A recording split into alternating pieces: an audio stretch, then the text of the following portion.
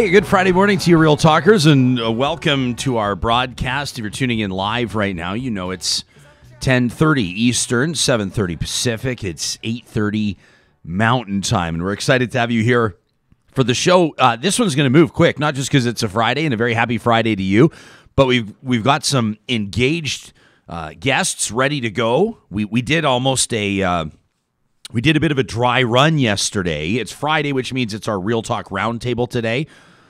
Although we've kind of turned into uh, sort of a roundtable everyday type broadcast, which is great because we've got a lot of people that want to come on here and chat. We've got a, a lot of issues that we're trying to tackle, but traditionally, at least on Fridays, you're going to have a roundtable conversation that you can count on. Now, here's the deal, though. Today, we're bringing in, let me do the quick math one, two, three, four, five different pa- panelists for this roundtable, which means we have them slated in for shifts.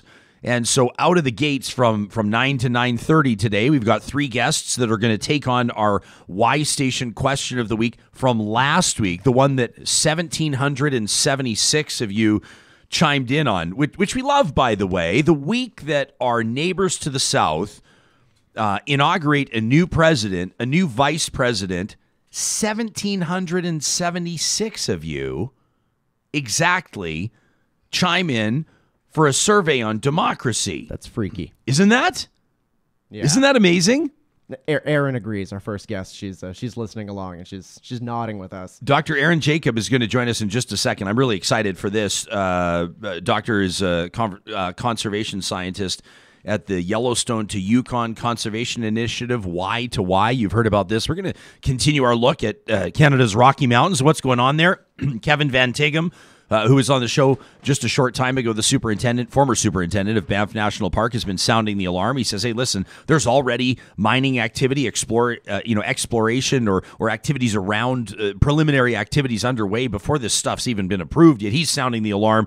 Uh, I noticed that Postmedia newspapers. My parents chimed in from Calgary. All, my parents are like my my news watcher. They're my parents might be more engaged on what's going on than I am." Which is great because they're always putting things on my radar. Uh, it's great as well because they pay for their content and subscribe, subscribe, subscribe. So shout out to Bruce and Catherine down in Calgary. But they even they said, "Hey, check this out!" In the Calgary Herald today, Kevin Van Tighem is sounding the alarm again. Coal mining's already going on. Now you're going to say, "Well, maybe not mining exactly, but the preliminary stuff is happening." Albertans are being led to believe right now that everybody's hit pause for a second. That the more than 100 100,000 signatures on these petitions have meant something and that everybody's going to take a second here. So we're going to get a a real and maybe stark analysis of what's going on and what's at stake. That's coming up. We're also today, well, of course, we'll talk about the resignation of Governor General Julie Payette and, the mess that it creates to a certain degree. Let's not discount uh, the personal experiences people have allegedly had. Uh, it sounds like an absolutely toxic and horrific work environment. Uh, quite frankly, sounds sounds like a terrible person to work with. I hate to put it that way, but that's pretty much what it's starting to sound like. Uh, you know, one of these things, her official statement, I'll read from it in our nine o'clock news. She says, you know, while no official complaints were filed, it's like, uh, with respect, if everybody in Canada's talking about what the workplace was like, there's really no need for an official complaint to be filed. Uh, a, a, review uh, between her and the prime minister, uh, apparently they're taking a look at this report that was compiled, and, and as they reviewed it together, sounds like uh, sounds like the, you know, the mandate was made clear, which is uh, time for you to resign. Now, yesterday, uh, a good friend of mine, and, and I'm sure you're a fan of hers if you, if you enjoyed uh, engaged commentary on Canadian politics, Vassy Kapelos had a great interview uh, with the Minister of Intergovernmental Affairs for the government. She's holding his feet to the fire, saying, "Well, did the Prime Minister ask for this resignation, or was it was it volunteered?" By Ms. Payette, and didn't seem to be a clear answer there. Sounds like maybe the prime minister told her it's time to go, but did she even want the job in the first place? We don't know. We're also going to be uh, our roundtable today taking on, as we said, quality in politics. And, and, and 1,776 of you uh, told us what quality in politics would mean to you. We've got a great panel coming up. Uh, Mike Lake is a conservative MP out of Alberta, and he hosts these Zoom happy hours on Friday afternoons and he invites people in uh, Americans, Canadians, Democrats, Republicans, liberals, conservatives, uh, you know, NDP supporters, whatever the case may be. I've taken part in a couple of them. They're they're they're, they're Chatham House rules, which which means that everything said there is off the record, uh, which is great because everybody can just relax and have a cocktail or or, or, or you know have a sparkling water and uh, talk about their week, dig into some issues. Um, I've really appreciated uh, some of the insights I've gleaned from these, and, and and Mike's doing it, I think, because he wants to bring together people of different political stripes and have have meaningful conversations at a ground level. So today, we kind of contracted Mike out. We said, Well, you come join our roundtable and bring in some of your regulars at these Zoom happy hours. So he's done exactly that. We're going to meet some really fascinating people, including for sports fans. I absolutely love, and, and Sam's like losing his mind at one of the panelists. Just, just a bit. at one of the panelists that's joining us for the 930 block, 930 to 10, uh, perennial CFL All Star. He's a member of the CFL's All Decade team. Receiver Adarius Bowman is going to join for our roundtable. Did you ever think that you'd be witnessing, uh, let alone technically producing, a roundtable on politics starring Adarius Bowman? No, uh, I thought you know maybe uh, it, as this unfolds, if we get close to a Grey Cup or there's a big season, we Yeah. might bring some players on to Yeah. chat. But um, talking politics, that's new. I'm excited about. so we're going to Uh, find out what he's doing you know, talking politics. I love seeing athletes out of the arena. Yeah. You know what I mean? Like when we talked to Andrew Ference about it, when he was talking about being a citizen, like that really resonated with me. So it's it's like Yeah. this is this is really exciting for me. It's another another side to him that we haven't seen before. That's right. So Darius, uh, a, a proud uh, son of Chattanooga, Tennessee. So I don't know how he votes. Um, I'm going to be completely rude and break all sort of happy hour cocktail party rules, and I'm going to straight up ask him how he voted and what he makes. Uh, well, I'll ask him if he voted, and if so, how, and what does he make of of his home country? Well, let me say at least his country of birth, uh, the United States, and its and its and its effort to can, can I say recover from the Donald Trump presidency? Can I say unite again? I think everyone will acknowledge that's a challenge facing the U.S. All right, let's dive in here because I also have stacks of emails. I promise, real talkers, I vow to you, I'm looking right into the lens, and I promise you, I will plant. I'm going to say a minimum of three trees this year. I, I commit to you, I will plant a minimum of three trees based on the number of emails that I've printed out this week alone. Of course, it's Friday, which means we're also getting into trash talk after the roundtable. So let's kick it off with a mention for our friends at Bitcoin Well. Each and every week, they're here joining us on our journey to make sure we're talking about issues that matter, and they want to talk to you if you have questions about crypto. Uh, Bitcoin's been booming, and then last couple of days, it's been in a free fall, and investors or potential investors are going, I need to make sense of what's happening here. Go to a voice you can trust. Based out of Edmonton, more than 40 employees growing rapidly, going public this year. Bitcoin Well, our presenting sponsor.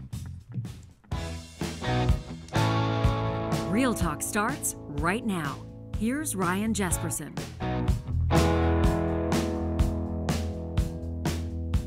We kick off with uh, expertise in science, with a passion for the Rocky Mountains and for getting outside. Dr. Aerin Jacob is a conservation scientist at the Y2Y initiative. That's Yellowstone to Yukon. She provides and studies, uh, you know, commentary is what she provides on conservation issues around Western North American uh, endangered species, wildlife, the benefits that people get from nature. She's advised governments in past on protected areas, impact assessment, endangered species, as mentioned, and climate policy. Dr. Jacob, it's, it's, it's really great to get you here on the show. I want to mention right out of the gates to our audience, uh, based on the news cycle this week, you've been so kind and, and so flexible to allow us to reschedule our interview on short notice. And I always love acknowledging that publicly to say you've already been a dream to work with. So thank you and welcome to Real Talk.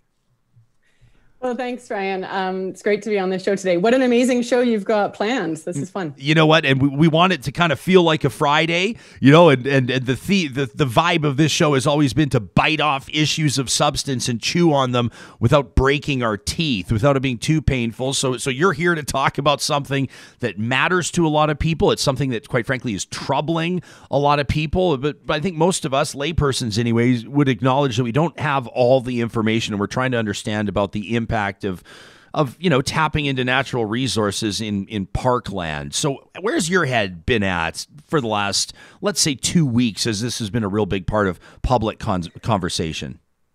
Yeah, what a two weeks it's been. My gosh, um, I've been I've been amazed at how many Albertans from all across the province and all walks of life, all political life, are being engaged on this issue. People really care. They care about these mountains. They care about the foothills the water that comes from these places and they know what's at stake.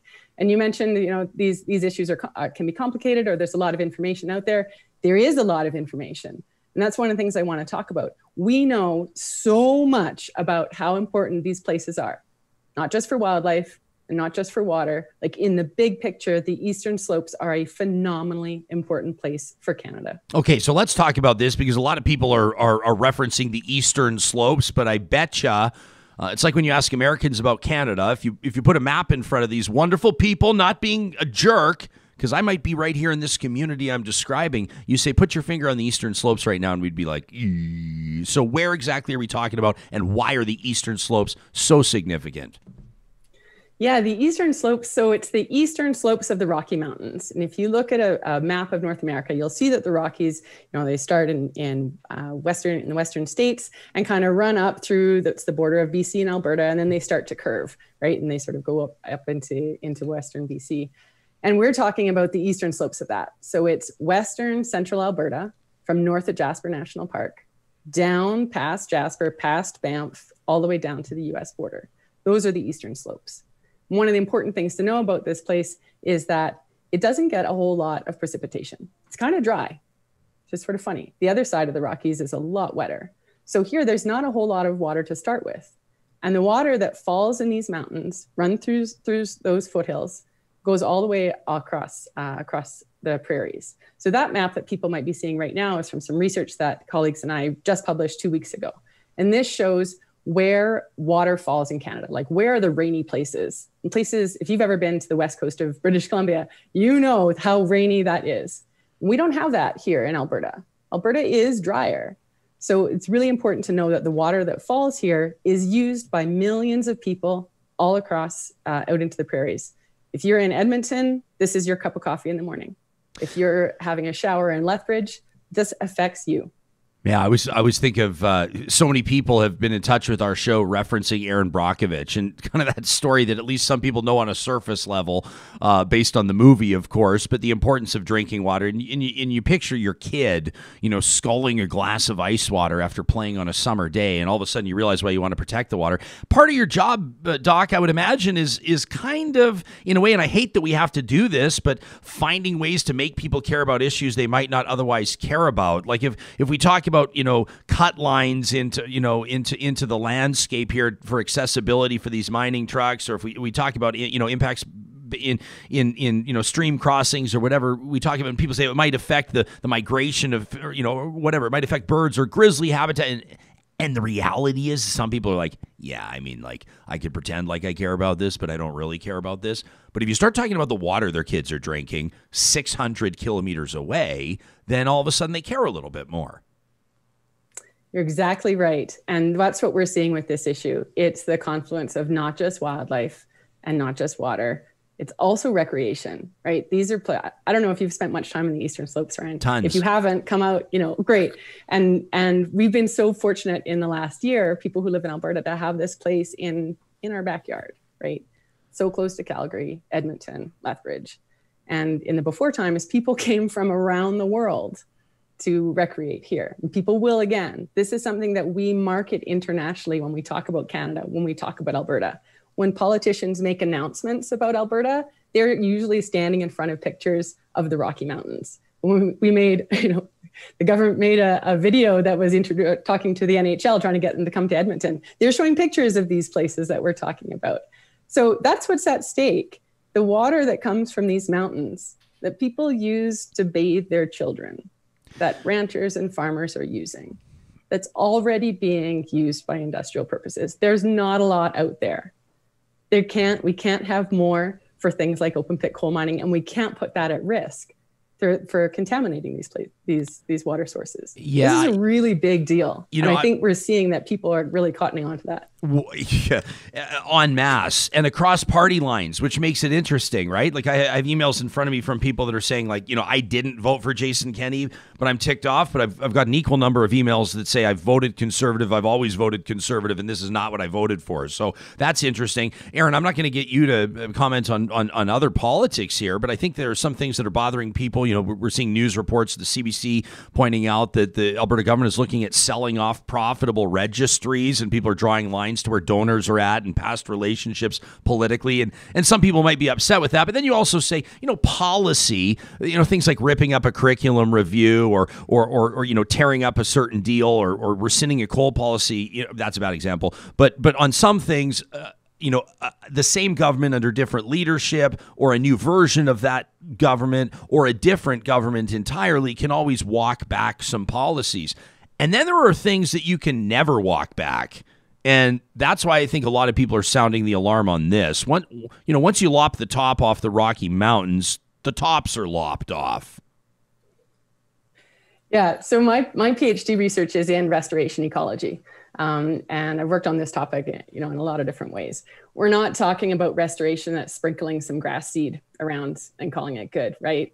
We're talking about blowing the tops off mountains and contaminating rivers where that kind of contamination, selenium, can last for hundreds and hundreds of years. And it does everything from, you know, affecting affecting the face, the uh, facial deformities and spinal deformities of trout to affecting their reproduction. This is the water that people drink. 1.4 million people in Edmonton get their drinking water from the North Saskatchewan River. These are the headwaters that I'm talking about. These are the places that are going to be affected restoration like this you know it, it, even you're right even before the coal mining starts there's roads that are being built. And we know a ton about how roads affect wildlife including things like grizzly bears bighorn sheep mountain goat elk and certainly fish. These are really big issues and and the work that's being done already and remember this is with zero public consultation zero consultation with indigenous communities. This is a really big deal already. It has to stop. So you know, you take a look at the area. I, I think back to I'm trying to figure out how I want to ask you this question because it's it's kind of like more of a concept as opposed to a focused question. But you remember when the NDP uh, was in government in Alberta and they were talking about a, a, park in in this part of the province and the official opposition was was pushing back intensely on this. And I think that that's becoming evident to a lot of people or has become evident as to maybe why the United Conservatives were so against uh, ensuring that this became protected parkland. But Y2Y, the organization that you work for, was prominently speaking at that time and was being painted as a, foreign funded special interest group with with with anti Alberta a bigger picture let me say a bigger picture vision that would threaten the sovereignty of Alberta and Canada's parkland etc you I, I don't need to get into this too much with you. I'm sure that you experienced it firsthand. I'm sure that you remember it. So, to all the people that oh, yeah. may see this interview right now that are going to write this off like you're some lunatic fringe environmentalist that wants to take the side, you know, you, you want to interfere with the sovereignty of parks. Of course, you're anti business, you're anti conservative, probably you're anti oil. You know, you, you probably follow Greta Thunberg on Twitter. I bet you follow a bunch of crazy socialists as well. What would you say to the people that are going to watch this interview? Yeah, I do remember that. You know, and one of the thing, one of the reasons that at, as a scientist, as a conservation biologist, I was so concerned about the bighorn in particular is because I knew the research that we had we just published a couple weeks ago, and I saw in those maps that the bighorn stands out as one of the most important places across this entire country for its combination of water and recreation. And as well, I know how important that is for wildlife you know these these are big issues that lots and lots of people care about and of, it is crucial to have a big picture vision here these are these are issues of national and international concern right We have to be thinking about that on a bigger picture. And I, my fam, my mom's family is from Alberta for multiple generations. You know, they're ranchers, farmers. They're people. I, my family works in the energy industry. These are difficult conversations that we need to have, and it's hard. A lot of people are hurting in Alberta right now, and that's one of the reasons we need to have really serious consultation. What kind of future do people want?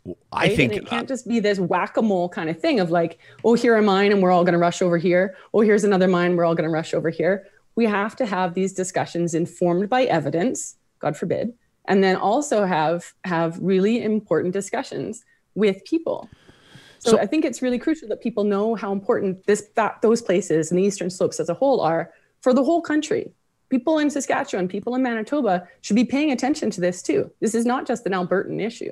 Well, that's my thing is I, I think that we need to have conversations like you know somebody yesterday th- this guy's coming at me like you know why am i anti-alberta why am i anti why why do i want to bury the canadian economy all these types of things and, and it's really like the sort of the inflammatory pigeonholing of people um, is is really quite strange but i would suggest that the loudest voices on this conversation or specifically around coal mining in the Rockies on the eastern slopes, the loudest voices have been, I mean, aside from the country singers, uh, have been the ranchers and the farmers and the indigenous, the First Nations, the uh, indigenous communities that are stepping up uh, protesting this. Uh, nobody's going to care more about it than them. Uh, they know how precious their water is. So, so it, it makes the conversation quite interesting because, you know, to speak very generally, uh, at risk of inaccuracy and at risk of perpetuating inaccuracy, very generally, you're talking about the conservative base. You're talking about rural uh, dwellers, ranchers, farmers. I mean, these are typically the people that are all blue all the time, which kind of layers on some complexity to where the public conversation is right now. Yeah, and what I think is important to, to know here is that people didn't vote for you know for for rescinding the coal policy. No, this didn't come with any right with it. Nobody knew this was going to happen. Maybe except the maybe except coal mining companies. So that's part of this huge problem. There's been zero public consultation on this. And yet, when the, the 1976 coal policy was put in place, it was after years and years of careful discussion with people about what kind of future do we want to have. And they identified then, this is Premier Lougheed's government, identified how important it is for water, for cultural reasons, for recreation. They knew what kind of that we would have to protect this most important resource. Water is our most precious resource and it is going to become even more precious in the future. I don't know if people uh, spend a lot of time looking at uh, climate change modeling and maps about predicting the future. I do. We've got a lot coming. Okay, well, hang on, and, Doctor, because you actually sent us, Sam, don't show it yet. Um, you sent us a, a, map, a graphic that's really striking in the context of climate change. We're going to get to that in just a second. We're talking to Dr. Aerin Jacob. Uh, right now, wanted to take a quick break to remind you that if all this talk about environmental responsibility and sustainability and, uh, hey, the sun shining on your face is resonating with you, check out Kuby Energy. We're really proud to be partnering with Kuby, Tesla certified solar installers. They only employ certified journeyman installers, which means that no matter where you are in BC or Alberta, when you call on them to cover your residential or commercial assignment, they're doing it with people that know what they're doing, certified tradespeople in Western Canada. Plus, they handle all the paperwork for you, the permitting, the, the reimbursements in some circumstances, little top ups like from the city of Edmonton, 4K right now if you add solar to your house, kubyenergy.ca. And don't forget to send us your positive reflections to talk at ryanjespersen.com. It's how we start every Monday on a positive foot with Kuby Energy. You also probably want to take care of your waste responsibly, right? And that includes a plan for waste removal and recycling. Local waste has been in that game for a quarter century here in Western Canada, family owned and operated, and they want your business. They love to talk trash. You can contact them directly at localwaste.ca. Follow the link under the sponsors tab at ryanjespersen.com. Dr. Aerin Jacob is our guest, uh, a, uh, a, conservation. I got to tell you, I've been uh, working in broadcast media for 15 years, and when I'm having a conversation with a conservation scientist, it twists me up like a pretzel. Anyway, that's who you are with Y2Y Initiative. Uh, you've done a whole bunch of research. You've been kind enough to share some of that with us, and, and by us, I mean our Real Talk audience. Sam, let's take a look at that map that we just received moments ago from Dr. Jacob. Tell us what we're seeing here in the context of climate change. What does this show us? Yeah. It, it looks like a hellscape, but what is this? well, you're not far off. You know, so this is modeling that's been done by the, the Climate Change Atlas of Canada. And this is a group of academics, of government scientists who have taken who do climate change science and modeling and storytelling to really hit home to people. This is what we're looking at. This is what's at stake. And there's a lot of ways that you can measure um, global environmental change, climate change. One of them is the number of very hot days, and that's days over 30 degrees Celsius per year. And with what we're on schedule for right now, we're that's what the future we're looking at. So five and a half times more very hot days per year. That might sound nice, you know. We might think like, oh, I really want to go and sit by the sit by the lake, right. you know, go fishing, maybe, right? Maybe not in my selenium um, contaminated rivers.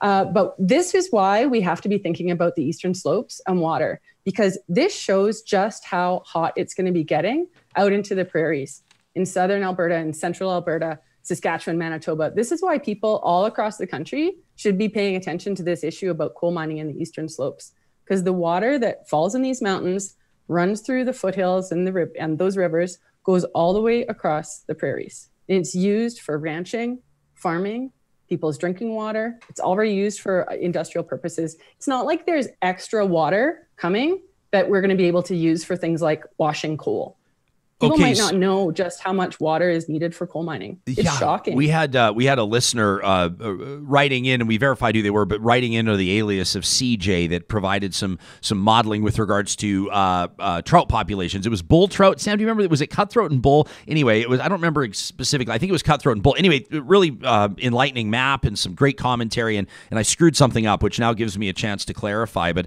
but I had suggested that that the mining the coal would release the selenium into the water, which could crust over over the bottom of the sand and make it difficult for trout to they don't lay eggs, do they? Whatever deposit their eggs. Anyway, yep. CJ followed up to say, actually, Jespo, you kind of put misinformation. You said said that can actually happen as a result of washing coal. And I, and I'm reading this and I'm going, what? And then I went and I'm googling it. I'm trying to educate myself. I'm going, they're washing coal using our fresh water. What? It's just, I mean, hey, I will say this, Aerin.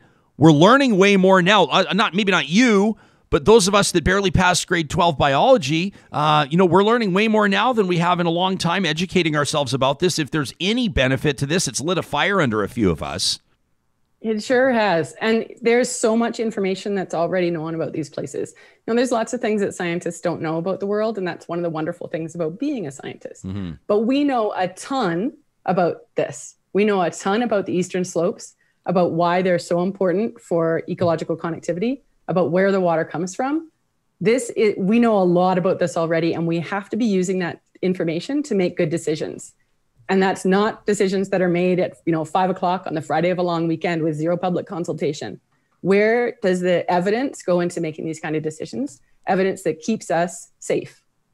So, Aerin, I, I was uh, I'm, I'm part of this uh, kind of a group chat with some engaged, uh, you know, some politicians or internet chiefs of staff, strategists. So it's it's interesting. You get an interesting lens. You see things through an interesting lens on policy, and and and they tend to be sort of uh, they steer clear of partisanship and try to take on the issue. So it's fascinating, and I benefit from it. Point is, a very reasonable and smart member of this group chat uh, was not buying into to the rage and fury that I was breathing around this, and he simply said, "What this is is a great time."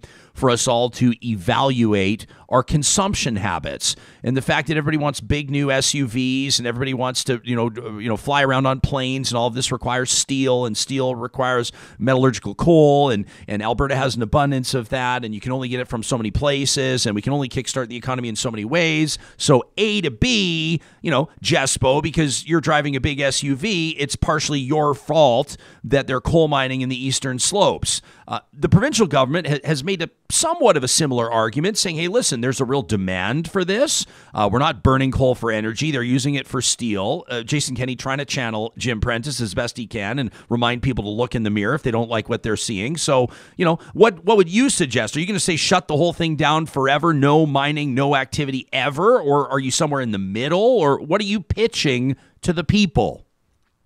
Yeah, you know, those kind of arguments just put the they put the blame back on, on the individual, right? That we elect governments to make good decisions for us and we have to hold them accountable for those kind of things. So for certainly we need to learn to live within nature's limits. We have one planet, right? That's reality. And some of the uncomfortable truths about science show exactly what's at stake here. But really, these are government level decisions. And as voters, we should be calling our MLAs writing to them, don't stop. I know it's scary sometimes to pick up the phone and call them. It's actually a lot easier than you might think it is. And we need to tell them you got to re, like reinstate the coal policy. We also want broader land use planning, so we're not forced to make these kind of decisions. You know, we're, and as well, we need more parks and protected areas. Albertans need these things, especially in this last year. We've seen how important that is.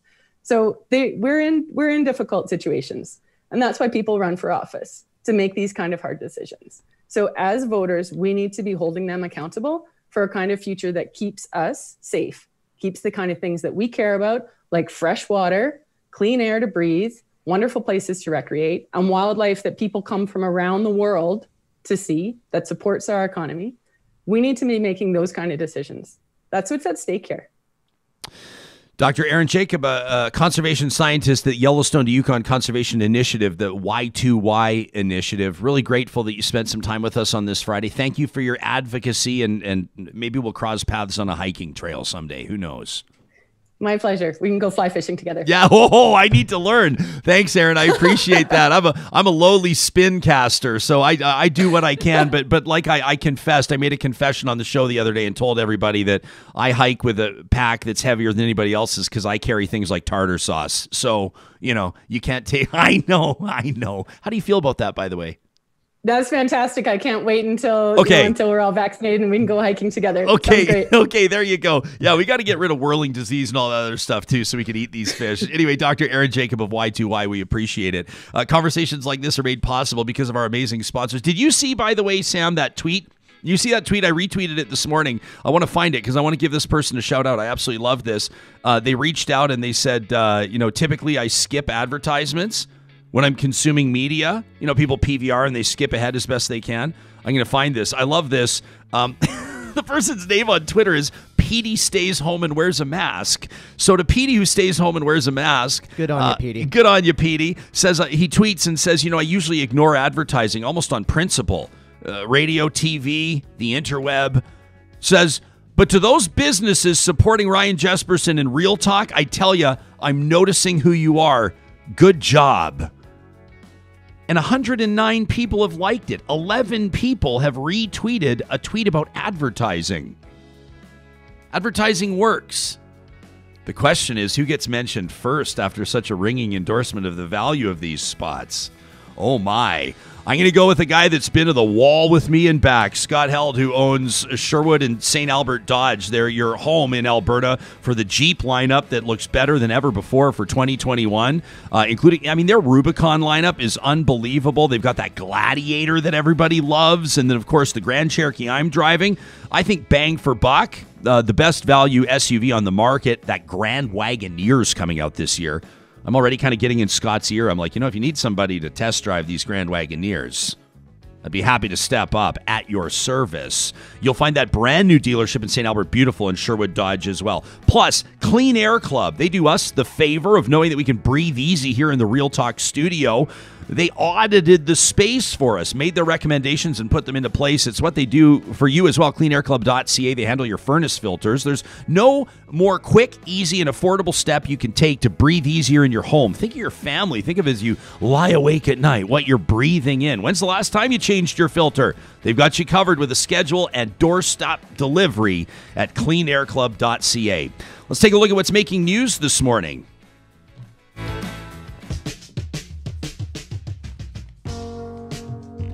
Of course, there's a lot going on in, in Ottawa. Uh, somewhat of a surprise or not at all. Governor General, now former Governor General Julie Payette, of course, formerly a Canadian astronaut, uh, wrapping up her almost 30 years of public service by resigning uh, from the post following a conversation with the Prime Minister. There had been widely circulated, I mean, the worst kept secret in Ottawa, and that's saying something.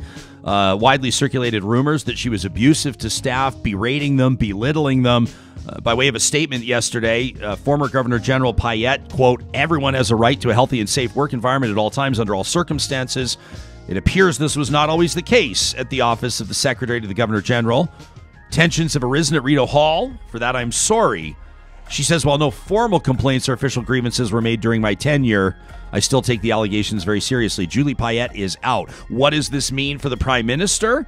What does this mean for Justin Trudeau, who put her there? A lot of people are saying In retrospect, hindsight's 2020, but she was a bad choice from the very beginning. We're going to get into that on Monday. We've got a few asks out. We're going for the real insiders, and we promise. I'm going to go on the record and say I promise you we're going to deliver with a good interview on Monday about that. Alberta reports this by the CBC's Michelle Bellefontaine considering selling off its profitable land titles, corporate and personal properties registries to a private company. They're profitable. Alberta's in the tank right now economically. Why are we selling what's profiting? What's profitable? What is going on right now? Well, follow the money. It's unbelievable what's going on right here. Revenues for the three registries totaled over $123 million in the last fiscal year. Wellington Advocacy was contracted to convince Service Alberta about the benefits of alternative delivery here. The president and founder of Wellington Advocacy, Nick Koolsbergen, was the chief of staff to Jason Kenney when the UCP was in opposition. Koolsbergen also ran the UCP's election campaign back in 2019. So there you have it. All right, let's get into talking politics, but but I'm not talking in the way that that makes your eyes glaze over. We're really looking forward to this roundtable because it's the result of what you told us uh, resoundingly as part of our question of the week. Each and every week at ryanjespersen.com, right at the top of the page, we ask you to take our question of the week, to take two, three minutes to answer it. It's presented by our official research and strategy partner, Y Station. We asked you on January 18th uh, for the week to go, we asked you uh, in the context of President Joe Biden's inauguration, you know, I mean, how, or rather, pardon me, this one was about quality politics. The current one about Biden's inauguration, the quality politics one plays into the inauguration in the sense that we're seeing a transition of power in the U.S. from, from the most controversial uh, president in American history by a mile, uh, President Donald Trump, back to what some people are describing stability, whether or not you think he's the best choice ever. Joe Biden represents a drastic change in the Oval Office. Here in Canada, we see division uh, in our uh, levels of government. We see a lack of bipartisan cooperation. At our city council level, we see some nastiness. We see pot shots. We're not sure that we're getting properly served. The quality of politics, generally speaking, demands to be improved. Or does it? That's the point of this conversation. And I'm looking forward now to welcoming to the program a member of parliament out of Edmonton, Wetaskiwin, the Honorable Mike Lake, a conservative MP. Mike is joined by a couple of his pals, and these, these are his these are his and they're not going to mind me describing them like this, I don't think, a couple of his drinking buddies, because MP Lake hosts these Zoom happy hours. So Sarah Letersky's joining us, Conor Hall. I'm going to properly introduce them, give you some background to our panelists in just a moment, but let me welcome welcome the three of you here. Mike, why don't you tell us how these Zoom happy hours got started? You've been doing them all through the pandemic and what your goal has been. Yeah, we've done uh, we've done about thirty of them so far, and uh, you know, really, it comes out of uh, you know comes out of our mission statement actually as an office, which is um, you know first and foremost, obviously taking care of our constituents and making sure that uh, that I'm representing them to the fullness of my ability. But then we we talk about the idea of having the most positive impact we can have with the largest number of people on wherever our platform gives us that opportunity. And of course, we've done a lot of work on the autism front and disability front, and I've done a lot of work on international development. But we, uh, you know, been been listening and and and watching, like all have, uh, the the state of politics down south. Uh, you know, look, looking at the parallels up here, um, and this need to find a different way to communicate with each other. This tribalism that is, I think, personally a, a, threat to democracy, where we're pushing everybody to the extremes and communicating from that point um, on all sides and so I, I happen after 15 years as a member of parliament to know, know a lot of people uh, from around the world, uh, particularly in North America. We thought, well, what if we bring together people with different political viewpoints and maybe no political view, viewpoints? Some of the, the folks that uh, uh we brought into the conversations uh, aren't really inherently political to start with, but uh, um, but they care about people and they recognize, and I think fundamental to this is a recognition that political labels are constructs um, before we're conservatives or liberals or Democrats or Republicans, we're human beings.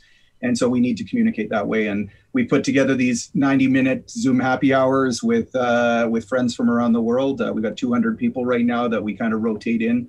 Uh, we do six, eight at a time, and they've been fantastically successful. So Well, they've been a, they've been a whole lot of fun, and I've I've been uh, lucky enough to participate, and, and, and, I love what you're doing. Uh, I want to get to our panelists here because uh, we've got an American, we've got a Canadian, we've got a Democrat, we've got a conservative. I mean, that's kind of the whole point of what you've been doing. Uh, Sarah Letersky is uh, prior to joining uh, Rubicon Strategy in her current role as a vice president. it's a, a, GR firm, government relations, based out of Toronto. Sarah was a chief of staff for a senior cabinet minister in Premier Doug Ford's government. Sarah, welcome to the show. When we talk about about quality politics, I don't want to make any assumptions here. So when we say how do we return to quality politics or how do we infuse quality in politics, we're kind of making an editorial statement that politics don't provide quality right now. So do you even agree with the premise of the question that we asked our audience? I do agree with the premise. I think there may be some examples of quality politics that we've seen across the world, um, but largely, I think we do have a problem with decency right now when it comes to communicating with not only you know our peers but people across party lines, and and that's something that I think in Ontario when I was working for the Premier Ford government, we saw that as a problem, and uh, Premier Ford actually did a good job coming out of the federal election to play a bit of Captain Canada. And he tried to create um, unity across the provinces with a government that that was liberal at the federal level, and while he was conservative. And was he successful in that? I think to a degree, um, but but largely we have a lot of work to do still. So can I before we go any further, Doug Ford, I I don't mean disrespect in asking this question, but I think a lot of people, especially maybe people outside of Toronto, sort of saw him and his brother to a certain degree as a bit of a clown show for a while.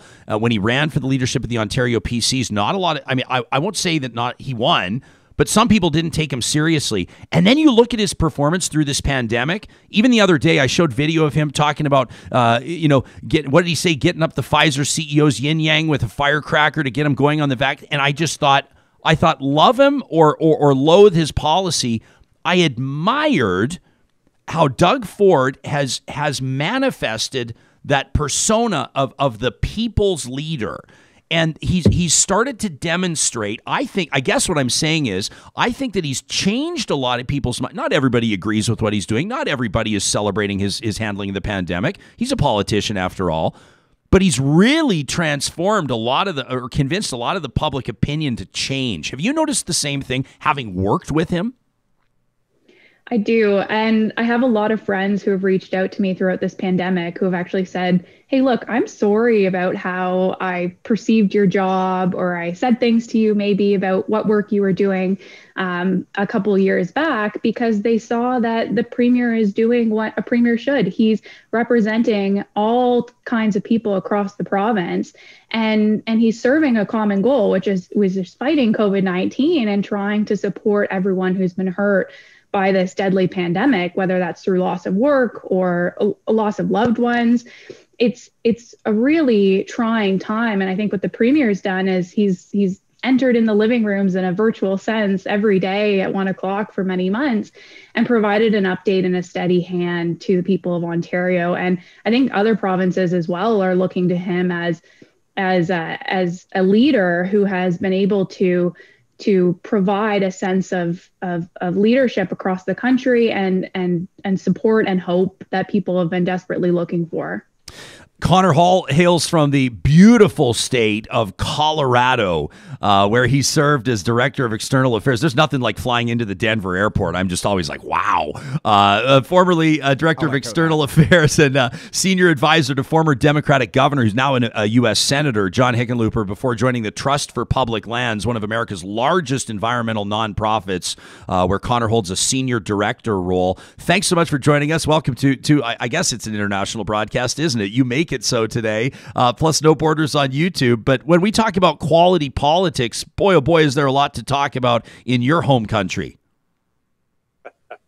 Yeah, no kidding. Uh, and it is so great to be with you guys today. Uh, honored to be the neighbor from down south that you brought, you know, aboard this show. And uh, you're right. It's it's it's a really interesting time in American politics, and you know, really for me, when you when this this question of quality politics, um, it comes down to a few things, but first and foremost is just the willingness and ability to listen to other folks um, and, and, do that genuinely. And I cut my teeth um, in politics working on the 08 Obama campaign, fresh out of high school uh, down in Texas. And I was um, going door to door fundraising and get people registered to vote. Um, and as you can imagine, doing that in uh, you know Texas, in some cases rural Texas, was uh, you know it was, it was a tough political environment to be doing that work, and um, you know had multiple guns pulled on me. I got you know back my leg got chunk taken out by dogs. I mean, it was just there was a lot of tough stories, but the the you know my real takeaway and my my you know lesson and, and entrance into politics was you know around just meeting people where they were at. And this was before it was targeted. So i was i was knocking on every door and and it was all about listening. I mean, we we you know I threw the script out immediately of, what you were supposed to say, and, and really it was about knowing enough to be able to respond to whatever that person really deeply cared about, and then taking the time and showing up in a genuine, respectful way to to figure out what that was. Um, and, and and we had a running, you know, my twin brother and I both were doing this work in Texas, and uh, we had this competition of who could get more Republicans to to give to Barack Obama uh, the campaign, and and but, but, but that was what it was all about, and it was that you know willingness to listen and and, and knowledge of, of, of really knowing to be able to speak to what people cared about. And when I met Mike, you know, I think five six years ago now, in, in 2016, you know, we were in. It, you know, Hillary was was running against Trump. We were in this divisive election. Uh, John Hickenlooper, you know, who I worked for still at the time, was being vetted to be Hillary's VP. He ultimately finished final three, but we were deep in that process, and it was just every day. It was just such divisiveness, and so meeting Mike was just this breath of fresh air. Um, and he was, and he had the knowledge to speak, you know, on most issues, and the willingness, most importantly, to to listen uh, and in a respectful way and engage in a in a genuine way. And so that's why I'm so excited to be part of these happy hours because you know they come out of Mike's you know mind and that that genuineness to engage, and it's it's it's a pretty incredible thing. Um, and so you know, it, it, it, goes a long way in, in, this day and age of politics. Conor, I'm gonna I'm gonna ask you a little later on in this in this interview about working for an environmental nonprofit, an environmental lobby, and, and influencing policy. I mean, before I spoke to the three of you, we were talking to a, a conservation scientist who's talking about coal mining in the Canadian Rockies, lack of government consultation. There's a lot going on. Um, Mike, I want to I want to put this in front of you because this this is from Mayor Blaine who's watching. I'll acknowledge uh, Blaine's uh, tweet arrives just 11 minutes into our conversation. I've barely just introduced the three of you, and, and we haven't even talked to our to our so-called civilians like like CFL all-time legend Adarius Bowman, uh, who, who who's kind of I mean, aside from being a, a, star athlete and one of the greatest of all time on the football field, he's just a guy. He'll tell you he's just a guy. And I want to ask him how he got involved in the happy hours and why politics floats his boat now when it didn't before. But I digress. Mayor Blaine chiming in says, I'm sorry true Canadian fashion. He apologizes right out of the gates. He says, I'm sorry. But the discussion on Jespersen right now about the quality of politics is not talking about the real issue. He says the quality of people in politics. We don't expect enough. I don't understand why it doesn't matter more. Conor just kind of talked about addressing cynicism at the doors and proving you can deliver, Mike. How much of a priority is that to you? And and what does the Conservative Party do? I mean, in your caucus meetings, when you talk about attracting solid candidates that'll really deliver for constituents? What do those conversations look like? Yeah, I mean, it's uh, so first off, I think it's important to recognize that in a democracy, I'm just an extension of my, and I serve the, the largest riding in the country by population, about 200,000 people.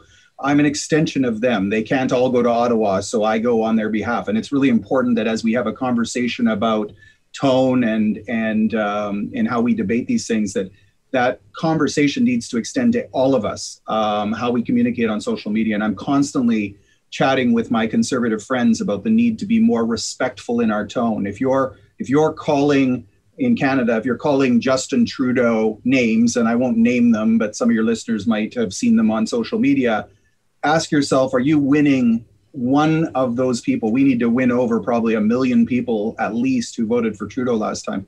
Are you changing their minds with that tweet you're sending out or that comment you're making on social media? So i do think we we all need to up our game. I think one of the the, the dangers of where we are right now in the level of political discourse is the fact that um, people if you if you scroll through my facebook feed for example and take a look at the comments uh, in my facebook feed it will absolutely inoculate you from any desire to uh, run for politics. You will absolutely not want to run for politics if you take a look through that. And and I sense that when I'm having conversations with fantastic people who I think would make great members of parliament is they see what's going on and it's not just in the Conservative Party; it's in all parties. It uh, it, it, really is a, a, drag on getting good people into politics. Because Sarah, we, have, we, absolutely have to up our game. Yeah, and Sarah, doesn't that? I mean, then don't the bad guys win? I mean, if the practitioners of the nastiest politics are chasing away people that could give them a run for their money and infuse quality, then the bad guys win. So how do you turn the tide?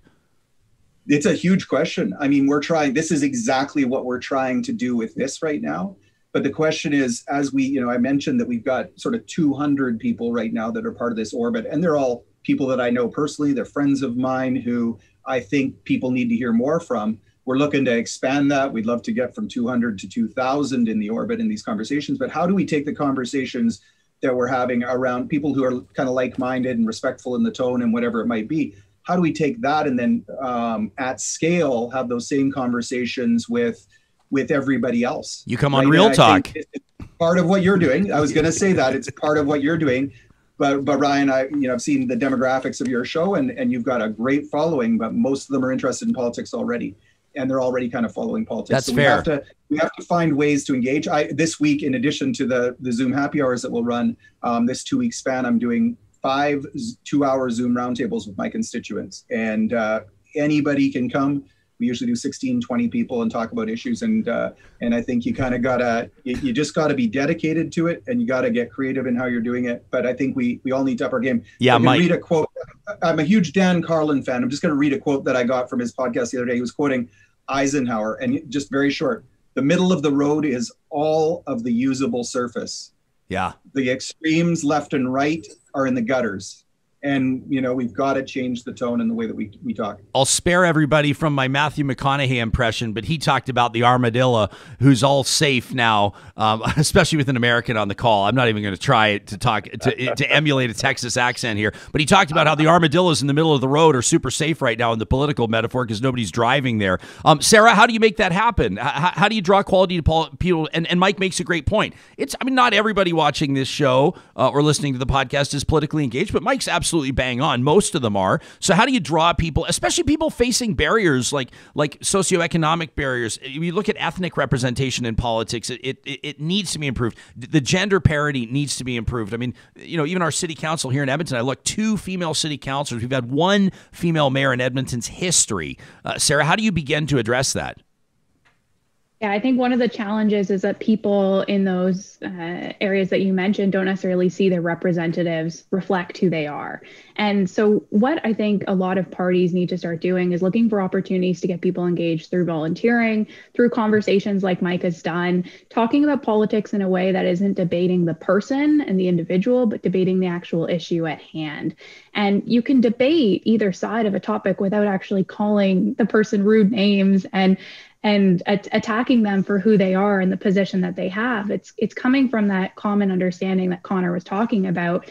Um, I, I think of something that I often take with myself into conversations, especially Mike's roundtables, is we should all listen to understand and not to reply and i think that that's a challenge that we have right now in politics is politicians are hearing you know opposition parties and all these other groups attack them for policies and then they reply with their talking points in a pre-scripted answer instead of actually trying to maybe sit down with that politician behind closed doors and have a conversation with them or talk about kids or books or commonalities. And that's something that Mike does a really good job of in these roundtables and something that I then take into my other conversations with with people across the aisle is we don't have to talk about politics right now. We can talk about books, we can talk about movies, we can talk about something funny that happened in the news. Um, we can talk about animals. We can talk about anything, and and we can we can come to a common understanding that we're humans and that we may have different political views,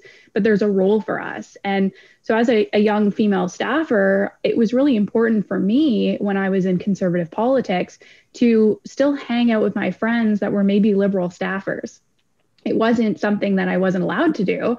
It was something that I, I should have continued and and you know during COVID it's a little bit difficult, but I try to check in with them every once in a while just to see how things are going. It's not good to constantly be in this echo chamber. You're learning nothing new and you're not actually furthering uh, your own debate if you're not understanding what the other side is saying.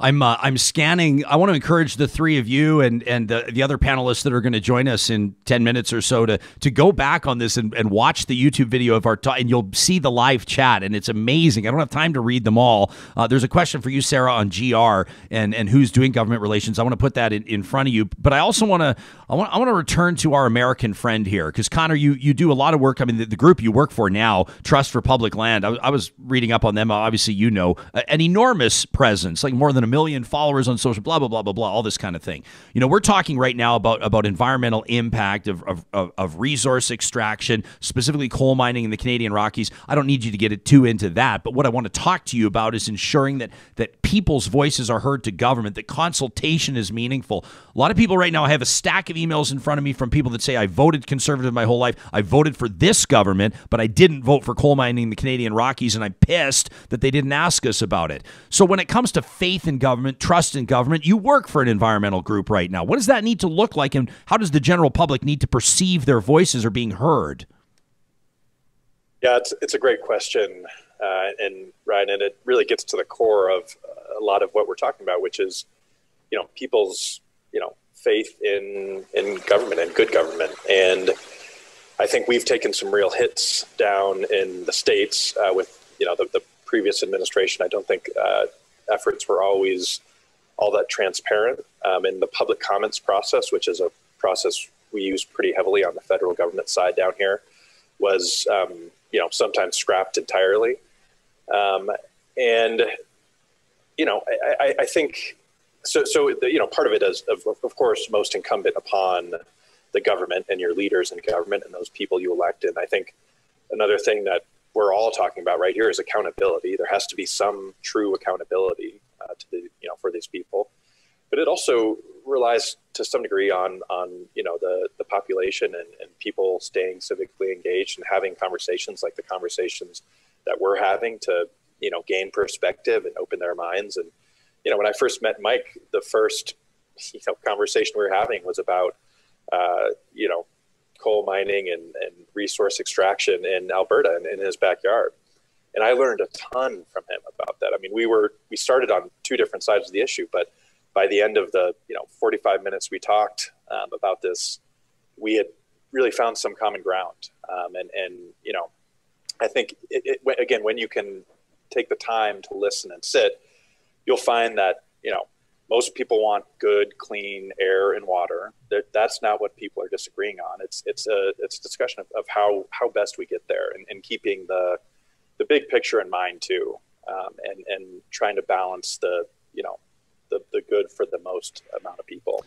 So, so how's that for a, a, a rambling? Uh, no, it's not. It's not your. It, we call it exploratory thought and expression, Conor. It's never rambling. Uh, Mike, we're keeping you here on the line into the next half hour. So, so I'm going to ensure that I make the most out of my time here with Sarah before we uh, let her get back to her work as VP at Rubicon Strategy. But Sarah, we've got an interesting question here. You know, we we, we read about and and this is not limited to any one government. Um, but, you know, sole source contracts, nepotism is is is evident everywhere. People wonder about ties to government, government accessibility, the pay to play meetings. You look at the big fundraisers. Justin Trudeau's done big one. Every federal party leader does big ones. you know, for a lot of people, politics is just a realm that they're not. They wouldn't even know how to get started on seeking a nomination to become a candidate. And they don't even know what. When it comes to lobby, uh, when it comes to government relations, uh, Logic Kelly speaking is watching right now. Thank you, Logic Kelly, and says, "Hey, for Sarah, uh, do you think GR firms, uh, GR government relations, could could look to hire people who may not have as strong of a background or connection to government and err on the side of relationships in general?" it's another angle of accessibility to government. What do you think of that question? I think that's a great point, and I think it's something that a lot of firms should look to do going forward. Because at the end of the day, she's right. Government relations is about building relationships with government officials, and it's about presenting solutions to government problems.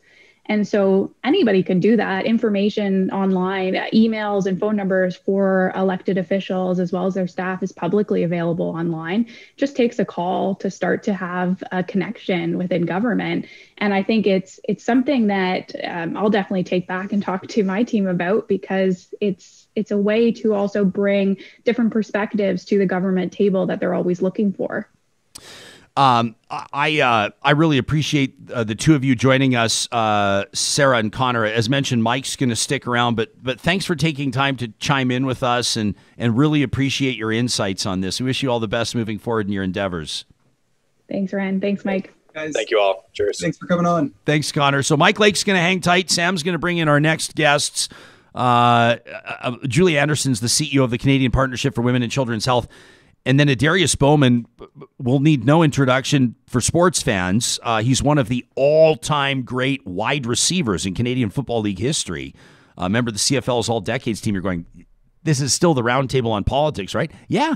Yeah. We're going to find out how and why Adarius got involved in the, the political happy hours and, and as a, a born and raised Tennessean, what he makes of his home country right now. And it's going to be a great conversation. Of course, these conversations happen because of our support, our amazing support from our partners like the team at Park Power. They're the ones that power our hashtag Real Talk RJ, which is smoking this morning. We appreciate what you have to say about this. We just read Mayor Blaine's tweet. I want to get to more of yours, so keep them coming. Park Power, since 2013, has made a commitment to charities in well their own backyard right here in the province of Alberta. They donate 10% of their profits to nonprofits. Isn't that great? They're in the natural gas, electricity, and internet game. And you know you got to take your business somewhere, so why not take it to a friend of Real Talk, right? They've joined us on our journey. Plus, when you use the promo code 2021 Real Talk at parkpower.ca, whether it's a commercial or residential account, they're going to give you 70 bucks off your first bill. How great is that?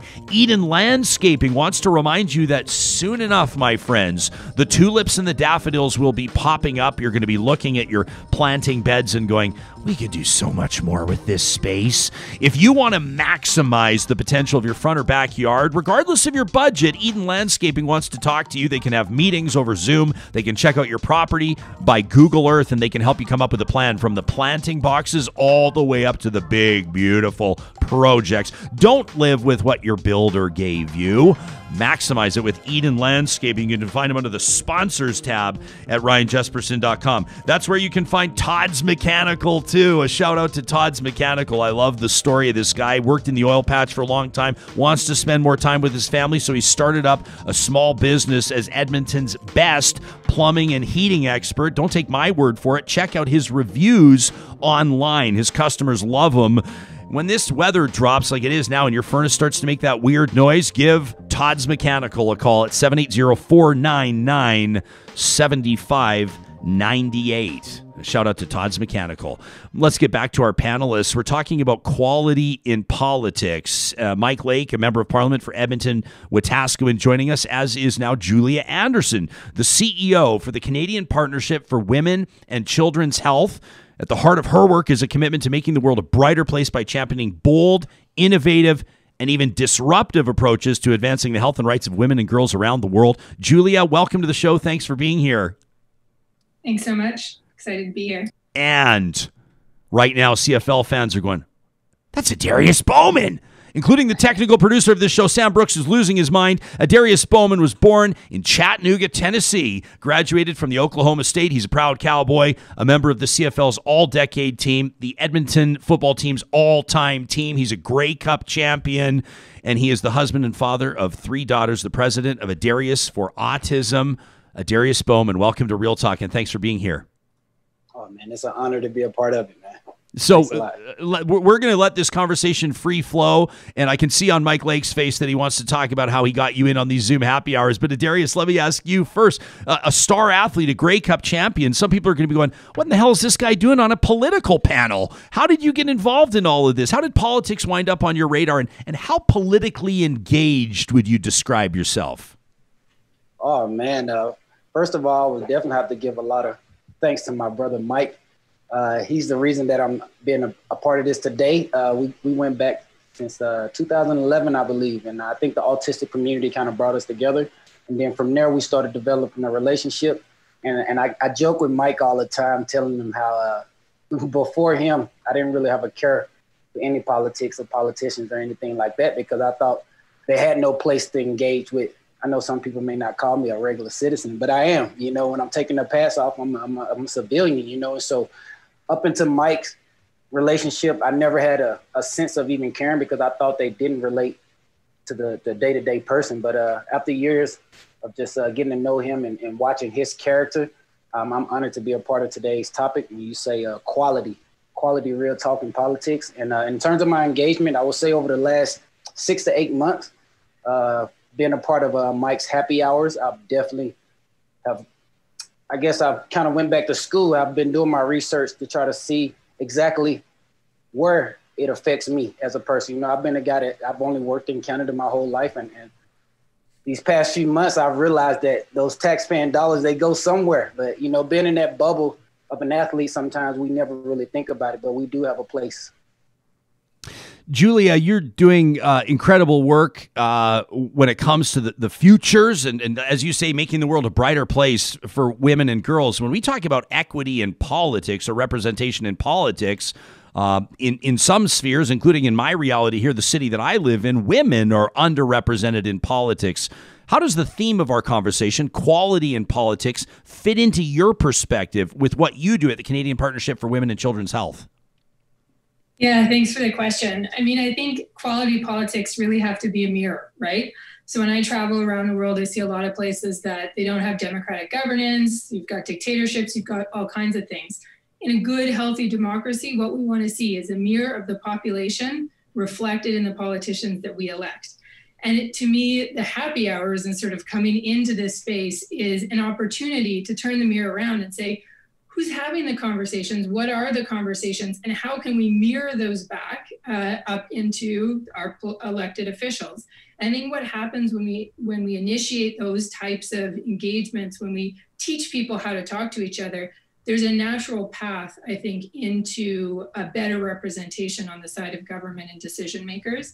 I know mike makes a big effort to make sure that our group is really diverse uh, both in political perspectives but in other aspects as well and I think at the Canadian Partnership for Women and Children's Health, that's what we're doing. We're trying to lift up leaders around the world to show up, to lead their communities, to lead their families in ways that are meaningful.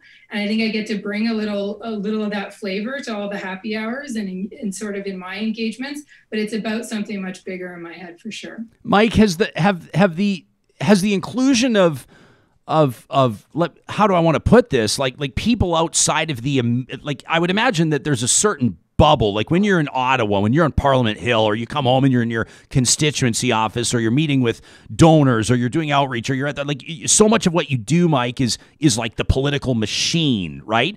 So what sort of an impact does it have on your politics and your perspective, and and, and essentially what your mandate is when you have an opportunity to interact with civilians as part of these conversations? Yeah, I mean, it's it's critical to doing the job uh, as best we can. I mean, it, it, it is way too easy for us to get caught in that Ottawa bubble, as we call it, where the only people you talk to are political people, people who are working in politics or other members of parliament, and most often, even worse, in your own party only. And that can be the worst thing we can do. So, you know, the, the constituent roundtables are one thing, um, this is kind of an extension of that because I can be my constituency, quite quite frankly, from a political standpoint, isn't very diverse. Our country is more diverse politically than than the constituency is. This is an opportunity for for me to deliberately and now us as a as a group of people that are engaged in these things and have a stake in it to deliberately make sure that we've got that diversity reflected that's so important. And um, just to say a couple of words about the two you're seeing here. I mean, Julia leads an organization that was founded by our government when we were in government, but has continued to be amazing and do amazing work. A network of, I believe, over 100 world leading organizations now. And they're a, a great example of an organization and network that can be big and yet not get bogged down in too much political stuff. Um, you know, really keeping their eye on the ball, which is a good segue, I guess, into uh, Adarius Darius, it's completely different. You know, we connected. We actually connected on a radio interview um, with my Jaden and myself and Adarius. I'd never met him before, and uh, we got talking about his work that uh, he did, did in his passion for, for for autism, and we've just become great friends ever since. And one of the things I say, we all have platforms. Not everybody's a CFL superstar, but uh, we all have platforms. Every every one of 40 million Canadians and what we really want to do is encourage people to take that place they're at, the platform that they have wherever they they are, and work to make a positive impact in uh, what they're doing. And if we can, you know, someone like Adarius can lead the way and be an example with the maybe larger platform that he has, uh, it encourages other people to do the same. Adarius was your, your connection to to autism. Uh, did that have anything to do with your uh, interest in, in becoming more politically engaged? Like, I can understand how that would connect you to Mike, uh, an issue that matters very deeply and very personally to both of you. But but ha- has has that influenced? Like, have you said, hey, listen, if I want to really move uh, your organization forward or your advocacy forward, you're going to need to play more in that political arena. I'm actually trying to steer clear of all the sports metaphors because they're too obvious. But but but have you identified that, in, or or does that drive your engagement? Oh no, I definitely uh, I would agree with the terminology. I wouldn't use the word political engagement at first, but now that I've had my time to really like hone into what's really going on, I think it's very similar in some sense how Mike just kind of said, stepping outside of your bubble, you know. And if I wanted to be an advocate or someone to speak for the autistic community, I had to step outside my bubble and engage with the community, and like I say, be that regular civilian, and that's what I really enjoyed about it. You know, uh, at first I think uh, the league, a lot of the guys might not understood why is Adarius doing that? I don't have autism. I didn't have a kid with autism, but I had a teammate, Brock Ralph, you know, and it was my time I spent with him. His oldest daughter, Oakley, is what made me want to step out there and really, you know, if, if she's the only kid I ever helped, that was my first initial thought. I'm down for that. And but it ended up being a, a snowball effect, and the whole league got behind me.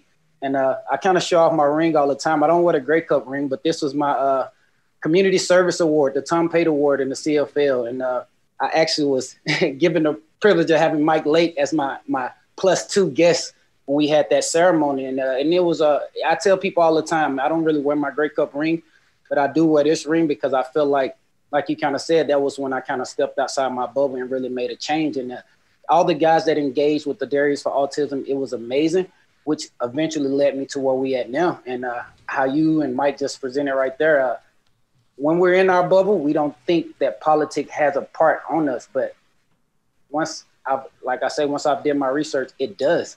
Me, my family, and everybody around us. And so I just looked at it as an opportunity to rebuild our communities. And, and everybody, you know, nobody's greater than anybody. And let's let's find a way to all use our platform and truly make a difference. And I think that is hands down the number one reason why I'm honored to be a part of Mike's Happy Hours because it allowed everyone to be their self and uh, we, we get a, a lot of jokes and, and things like that but it's at the same time there's no arguments and everybody's willing to like put their ego and pride and you know all those things to the side and really take on what we're trying to do you know? And so back to like we started the topic of quality and, and that's what i found in mike as as character and, and everybody that's attended worldwide all his friends that i've connected with and now my friends it's quality people. So I, I, see why they're excelling at their profession. Well, and this is, I mean, this is kind of tight. That, that's the difference, by the way, between me and you. One of the differences, I think our, our 40 yard dash should probably be quite different. There's quite a few differences between you and I. One of them, I would wear a Grey Cup ring. I would wear it making eggs.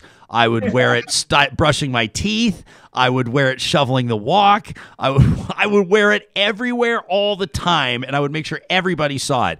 Um, but uh, Darius, so so here's the thing, and I promised the audience I would do this. This is so rude of me, and I very rarely would ever ask a guest if they have a political affiliation. But I'm curious to know. You are a proud son of Chattanooga, Tennessee. I don't know if you have if if if you have a direct or vested interest in the Republicans or the Democrats. I'd be curious to know your insight on on your, your country. You know, obviously you're a proud Canadian too, but like in the United States right now, I think we can acknowledge that there is some healing to do. I mean, President Biden's uh, entire address uh, w- was about unifying the country, healing the country.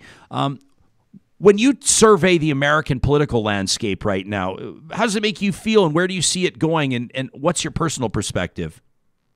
Oh man, my personal perspective is uh I hope that you know we can all get behind Biden and actually see the results, you know, uh coming out of the 4 years that we did just have, you know, I think there's a tons of room room for improvement.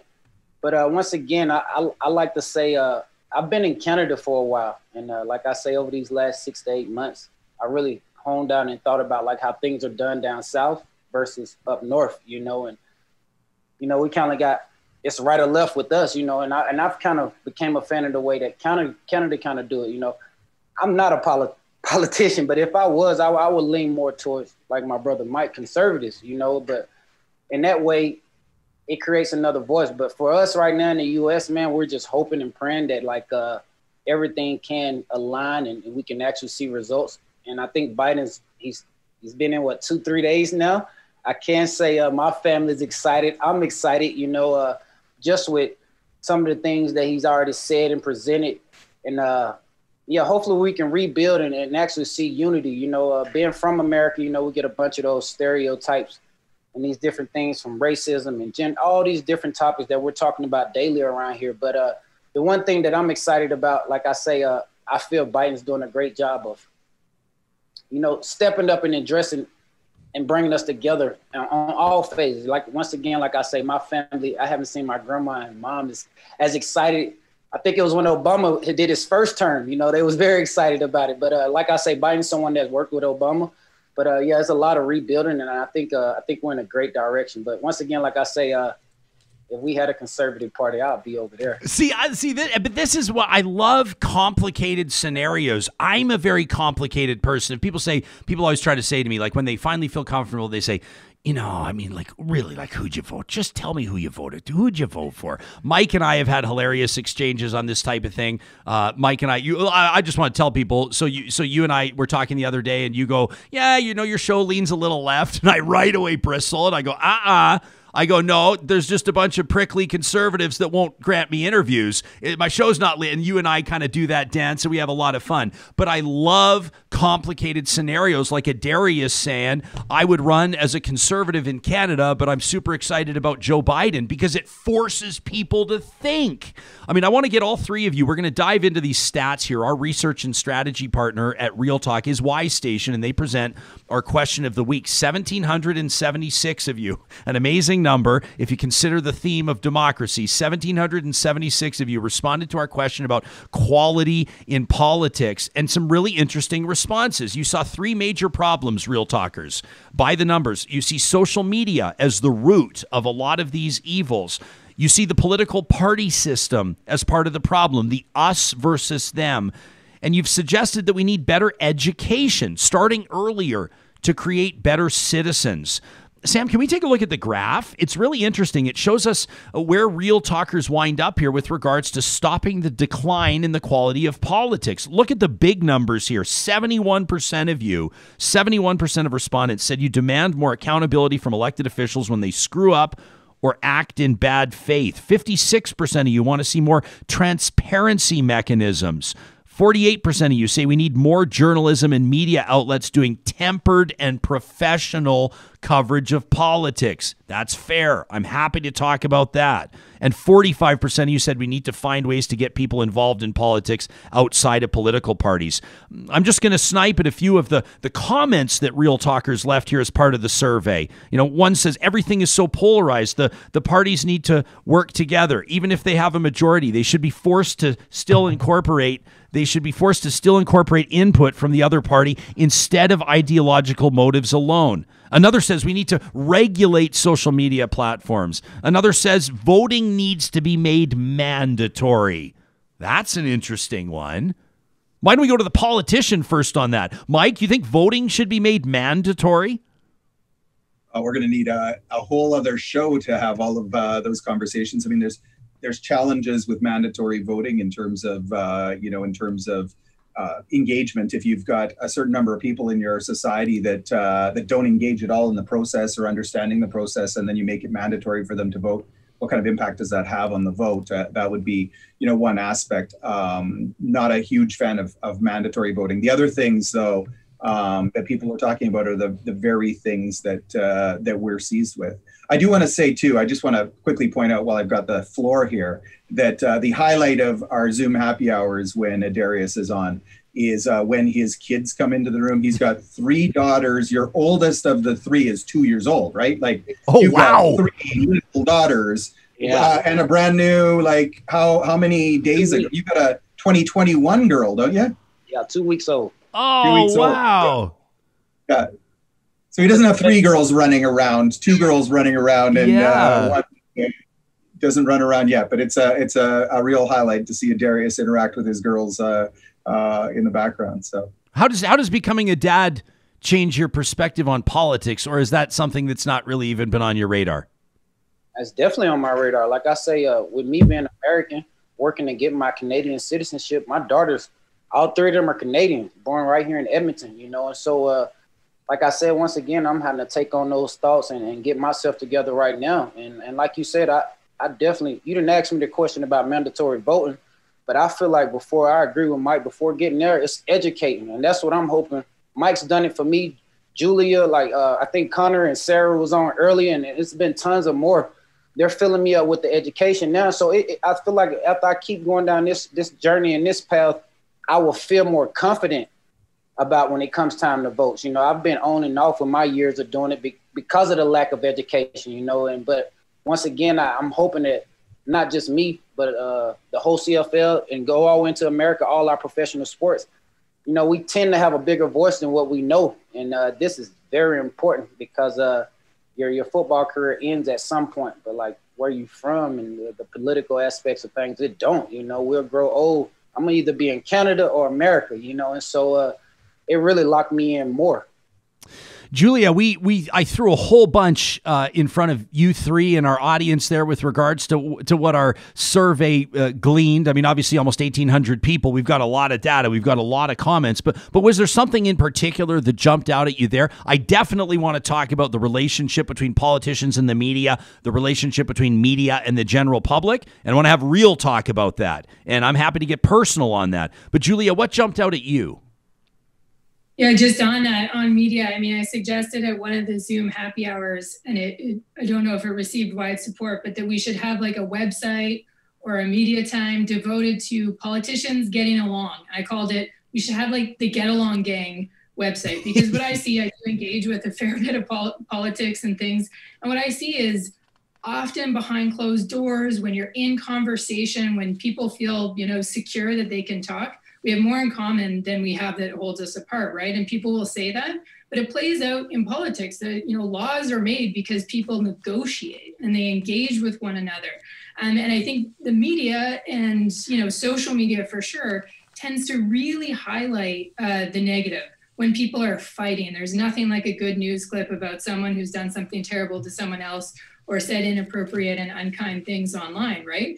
But when people are getting along, when they're doing their jobs, when the Mike Lakes of, wor- of the world are digging in and trying to get to the best answer for Canadians, that's often not highlighted. So I think there's lots broken on the inside, uh, but that's one thing that stuck out uh, for me. The other thing is the thread between all all of those pieces is showing up with your interests, right? We're so forced in the social media world and in kind of quick in virtual engagement that we're all now uh, sort of forced into because of COVID to show up with our positions, right? So my position is this or this or that. Your interest is underneath there. Quick illustration, two seconds.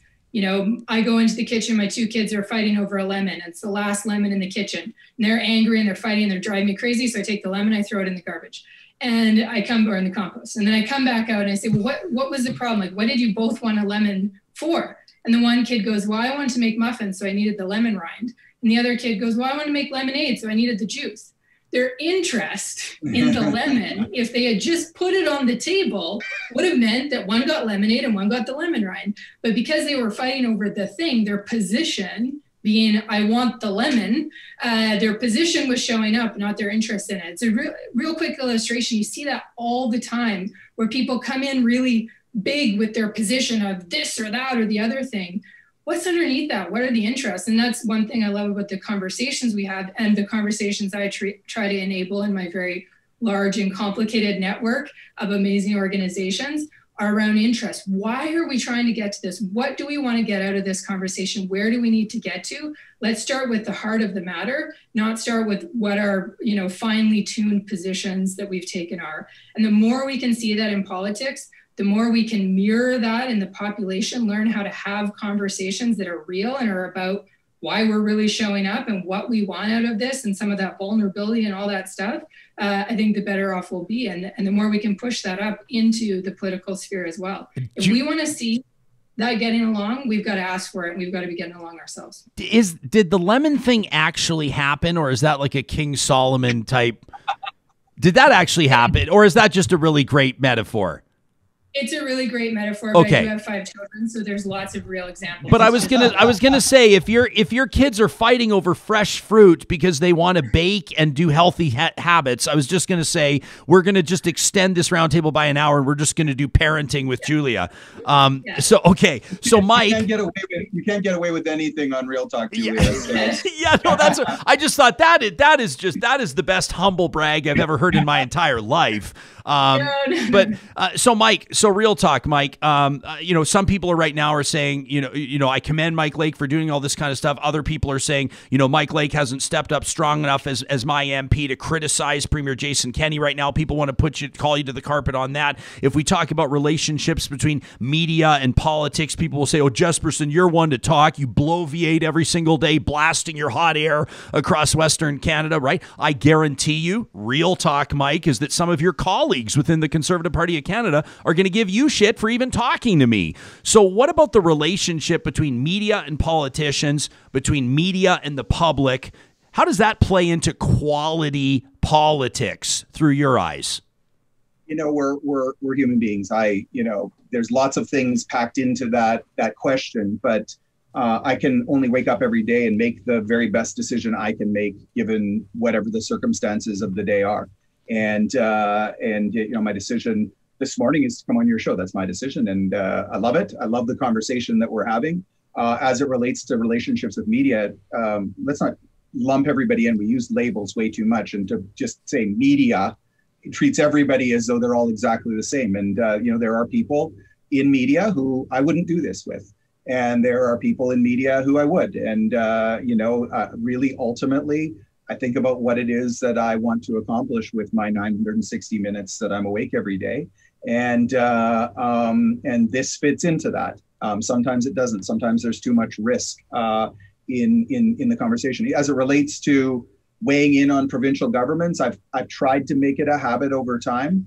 not to weigh in publicly on provincial governments across the country. I have a lot of opportunity to do, do so as it relates to autism with uh, with different governments, liberal and uh, conservative. Look at Ontario, and I've made it a habit instead to say, well, how can I actually have impact? And the way that I can actually have impact is to work on the relationships I have to try to have trusted conversations and give advice because I know a lot of people who I can direct decision makers to to help them to get to the, the best place. Might not always agree um, with with where the government's going, but by way of example, I worked with the Wynne government to help them to make meaningful impact on on uh, their autism policy because I thought that was a better way forward than pounding them over it when they were having a tough time with it. Mm, yeah. Um, yeah. So I, I I just the one other thing I just want to really reinforce is this idea of positions in our public discourse because um, Dan Carlin and Joe Rogan did a podcast a few years ago, and I thought they nailed it. And this was like three years ago down there. They were having a conversation, and something that struck me. They said everybody, human beings, not not politicians, everybody now. You can't have a meaningful political conversation because everybody comes to the conversation with talking points. Regular people now are coming to every conversation with talking points and there's no room to to listen and perhaps be persuaded of something anymore and uh, i think that that's critical uh, you, you've heard almost every person in this last hour talk about the importance of listening one of the things that's so valuable probably the most valuable thing about the Zoom happy hours we do is when uh, people from Canada talking about American politics get a chance to actually listen to people from the States who might come from different places and telling their stories and uh, it gives a whole new perspective when we just take the time to listen to people. I want to read some of the tweets that we're seeing on our hashtag this morning, the Real Talk RJ hashtag, uh, powered by Park Power. Adam Brown uh, says, you know, this current panel right now on Real Talk makes me think of that political blind date show, uh, which even figured uh, featured uh, Premier Doug Ford back in the day. If only question period was as productive as that show is. Hayden Bear is watching and says, uh, "Hey, hey, Mike, watching you on Real Talk. I'm loving the conversation so far. It's good to see a politician showing he cares and wanting to engage his constituents regardless of party affiliation. I wish more politicians were like you. Thanks for having him on, Jespo. John, this is a really great question, um, and and and, I'm, and I certainly am going to provide an opportunity for Julian and Adarius to provide some some closing thoughts. But this kind of this winds up right back in in in Mike Lake's uh, here. John says, you know, I wonder how many good men and women uh, from all political parties are wrecked. He says wrecked. Why don't I say compromised um, by the leadership or by party agenda? You know, a lot of people probably get into politics thinking they can change the world, and then they have a bit of a rude awakening when they got to toe the party line.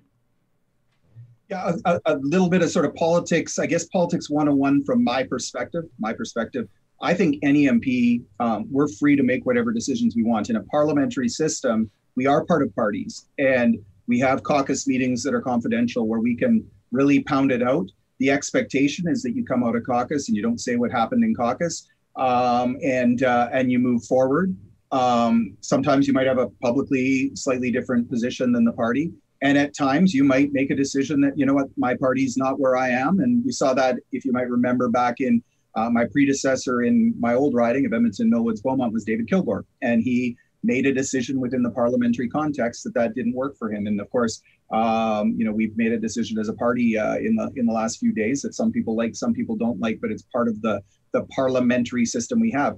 And just one last comment on that that's really important as we have this this discussion. A lot of people will say, well, why can't you just work with the government and whatever the case is? It's important that we work res- communicate respectfully in everything that we do. But we also have to remember that our our parliament, our democracy depends on an effective official opposition. It's literally our job as the opposition to ask really, really hard questions of the government. I've been on the government side answering those questions. I've been on the opposition side asking those questions. And our democracy is better the harder the questions. It's better, though, if those questions are respectfully put and at least if there's some effort to respond to those questions with information. So we always want to leave our audience, uh, and I always want to walk away from every show with with a takeaway. So you know, I, this assignment editor that was hugely influential in me back in my early days as a Cub reporter used to ask in the assignment meetings, "Why do people care?" That's the only point of any story that's filed on any journalism outlet is why should people care? So, Adarius, when we, when we talk about the takeaway here, if we want to complete the pass, I can't help myself. Uh, what's the takeaway from this conversation on quality in politics? What are you taking away from what we talked about today? And what do you think that people should think about? Uh, what am I taking away from politics in this whole conversation today? Uh, like the title of what we're doing, quality, real talk. And I want to refer back to what Julia said. What's our interest? You know, what is our interest with, with whatever, you know, profession we're in, but we're talking about politics. What's your ultimate interest? And I, I'm hoping that, you know what I mean? Uh, what got me here today is I admire the, the person Mike Lake is. I do respect and honor the position he in as a professional, and, and I've even followed that even more. And I think at times, like I say, that character, the quality character aspect about him shows. You know, uh, I can't speak for myself, but I've going through my journey. I've had fans and other people tell me, Darius, man, you, you don't seem like an athlete. You don't. I think it goes back to how I was raised. You know, my mom was all about character. You know, and then once I got into athletics, I kind of had a coach tell me like character out trumps your talent. You know, I think it's probably very talented and smart people in politics, but like if we can sit our egos down and, and, I'm a stubborn person that time, but if you can sit all that down and, and actually listen and we find an ultimate interest, you know, maybe, you know, we can we can get somewhere in life and and and once again, like I say, uh, I'm, I'm full engaged now. I'm even uh, I was talking to my wife early today. You know, I think a lot of talks have been about this Yellowstone. You know, the pipeline. You know, and one of our main reasons of coming back to Edmonton was, you know, my wife's an engineer. You know, and so not saying that makes or breaks us, but it just it kind of, you know, I was just blind up until like the last few half a year or so. You know, about like that actually affects the decision at times, but I just wasn't locked in. So to try to sum it up and answer your question, like you kind of said, let's let's educate each other. You know, let's use our platforms. You, Ryan, Julia, Mike, myself, and, and Mike, whole team. You know, uh, I, I used to joke with Mike before getting to this point. You know, that that place we had at the happy hour. You know, it, I was like looking forward to it so much. We was we was actually messing each other sometimes, and uh, I think uh, Andrew wrote an article about it. Like we was craving it and missing it. You know, especially with this year we just had. You know, with the COVID. You know, that was a place it was a physical place we can go, but like it was in my head, and I was looking forward to it every Friday. I didn't make every show, but I was I was waiting to get that email from Holly, you know, because uh, it was it was doing all those things for me. It was it was it was you know just like football, you know, we we, we always somebody got to win or lose, you know, but our ultimate thing is to, to entertain the crowd, get, engage with the community. You know, I, I hope we can see more of that in politics rather than winning and losing all the time. So. uh yeah, hopefully, like I say, unite and just can we all just get along, man. I love the shout out to Holly though too. Thanks, Adarius, oh, yeah. because she's watching. She will appreciate it. And these, yes. you know what it's like with with uh with we're a team, and this doesn't happen without Holly, eh, who works for me in Ottawa, making all of the arrangements, building relationships with everybody yeah. that's a part of it. Yeah, Holly Fisher. She she certainly deserves recognition. Uh, Julia, uh, your takeaway. What are you taking away? What, what do you want people to be thinking about today and moving forward? Yeah, I think, I mean, I'm a coalition girl. This is my life's career is to work in kind of small p politics and and work with people from diverse perspectives. And I think the two the two ingredients um, that are absolutely critical, not to overuse my food analogies, I'm avoiding the sports ones for the same reason, but uh, yeah, the two main ingredients are you've got to have a diversity of perspectives. If you're showing up and all saying the same thing, it's not helpful. And in order to manage diversity and people who disagree, you've got to learn the fine art of having conversations. And our politicians have to do that better. We as citizens have to do that better. We've got to get a, a handle on social media and the way that that takes away from our ability to be in, in, in good human connection and good human relationship and in conversation. Um, it comes back to that interest in positions, but it's really all about those two things.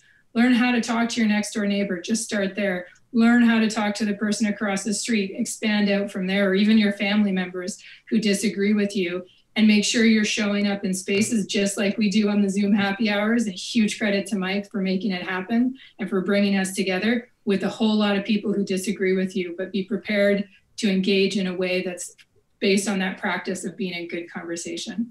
Uh, yeah, so thanks for having me. So excited, learned a lot and I'll be happy to be at the next Zoom happy hour. There you go. Well, well, well, Mike Lake. Uh, you know, today here we've had it. It's we we wanted to, I, I suppose, create almost a microcosm of, of, what you've been doing through the pandemic with these happy hours. So we've, you know, we've we've heard from a an Ontario uh, conservative chief of staff. We heard from American an American Democrat, former advisor and assistant to to a governor and a senator. We've heard from a star athlete. We've heard from the CEO of a of a group that works with government. We we, a conservative member of I mean, this is great, and it's kind of been the whole spirit of what you've been doing.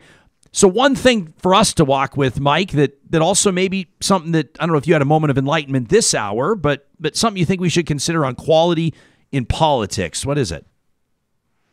Oh my gosh, I uh, just um, this is going to sound so oversimplistic, but be kind. Like first and foremost, there is no reason that in everything we do we can we can debate passionately and still be kind in the in the way that we do it. Um, you know we can have conversations we can participate in panels and and still be kind. It's not the opposite of hearty debate and um, disagreement and and i think that that's absolutely critical. I'm full disclosure on the spirit in the spirit of zoom happy hour i'm drinking baileys and coffee. And I, I, like my starbucks mugs and i know this isn't meant to be the word that you see but i've got it's my niece mug but i picked it because it's nice. Play nice. And uh, yeah. um, and i specifically picked that today to remind me as we're having the conversation that this is what to me this is what it's all about I uh, really appreciate this. Uh, it, it, has been uh, an enlightening hour, and, and I hope that we've given people something that we knew that we weren't going to solve all the world's problems, but we wanted to address this question in meaningful fashion from a bunch of different perspectives. And it's been great to, to connect with, with Julia Anderson, with Darius Bowman, uh, with Mike Lake. Thank you to the three of you, and we wish you a wonderful weekend. Thanks for the real talk today. Thanks for doing this, Ryan. Ryan, I got a new title too. I'm the American conservative. Next time I'm on. there you go. But we wanted, I'd, yeah, I'd rather call you the Biden conservative because then that'll really twist people up. Like you used to twist up defensive backs back in the day, right, D? Anyway, hey, we're going to look forward to see news coming up with, with what I, uh, seeing you apply your talents and, and everything going on. Anyway, I, I don't want to get too into it because I know you're a humble guy, but I really appreciate your availability. Julia, too, and Mike, of course. Thanks to the three of you. I love it. The Biden conservative. There we have it. Um, it's Friday. And you know how we're going to wrap up the show. Obviously, we got an amazing edition of Trash Talk coming up, but but I've got a stack of messages here, and the the the, the feedback uh, by way of our inbox at Real Talk. You, you know, you type in talk at ryanjespersen.com. It emails Sam and I. You spent uh, you said about an hour yesterday, just sort of trying to tackle it yeah, it was about an hour yesterday. It's um, uh, it's it's a monumental sort of, task. It is, and and it's like I I will say I, I actually look at every email. I do every email. Yeah, well, we might want to miss something. Absolutely, and and it's it's funny because there's sometimes that I sit down and I'm just like, okay, there's 50 talk emails lined up. I'm just gonna like sit and watch hockey and kind of thumb through these, and and all of a sudden there's a goal scored and I didn't even notice because I'm so into this email that See, it's the it's real talkers. Yeah. So you you played it remarkable. I noticed you you, you wore it. You're looking very sharp today, Sam. Uh, you wore the three piece. Uh, you've got your tie tied nicely. Not even with the top. You haven't even popped your your button. Um, is that did that have anything to do with the fact that you were going to be interacting with an all-decade CFLer, an all-time Edmonton wide receiver, a Grey Cup champion, one of your favorite athletes of all time, Darius Bowman? I, I, mean, I probably would have worn my jersey if I actually wanted to be pandering.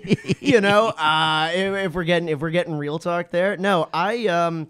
I kind of said this to you off mic before. Is like uh, back when I worked at the Journal, I used to dress like this every day, and I just feel comfortable in it. So, so, how was your how what were your thoughts on Darius Bowman?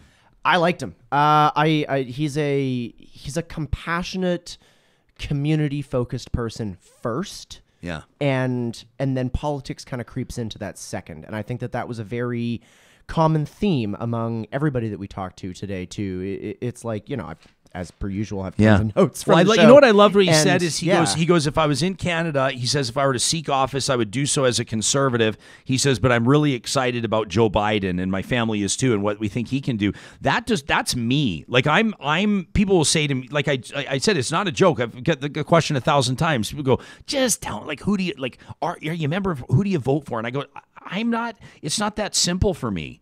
I can yeah. be inspired by, uh, I mean, 100% uh, absolutely without a doubt if i was an american casting a ballot i would have been voting for joe biden against donald trump. If, if i needed to state that i'll go on the record there. But not every federal election in canada not every provincial election in alberta and certainly not any municipal election has ever been that simple you're a for me. breed. you're one of the true swing voters. I am a swing voter. Yeah Absolutely. Would you care? Are you a swing voter? Um, or are you I, pretty tri? I don't want to say tribal because it's inherently negative, but yeah, I wouldn't call me a, a, a tribal person. I mean, I, I, definitely check into issues a bit. Uh, I'm a bit of a strategic voter, quite frankly. Yeah. Um, you know, especially especially being in, in, in this part of Canada. I mean, like I I'm I'm pretty centrist, but I definitely lean further left than you. I think that that's come out. So you before, need. So, so like, you'll look. Yeah. You'll assess your riding you'll assess the, the you know the, the geographical riding you're in and you'll try to forecast who you think might be best in that situation or who might need your the assistance of your vote. In other words when you say you're a strategic voter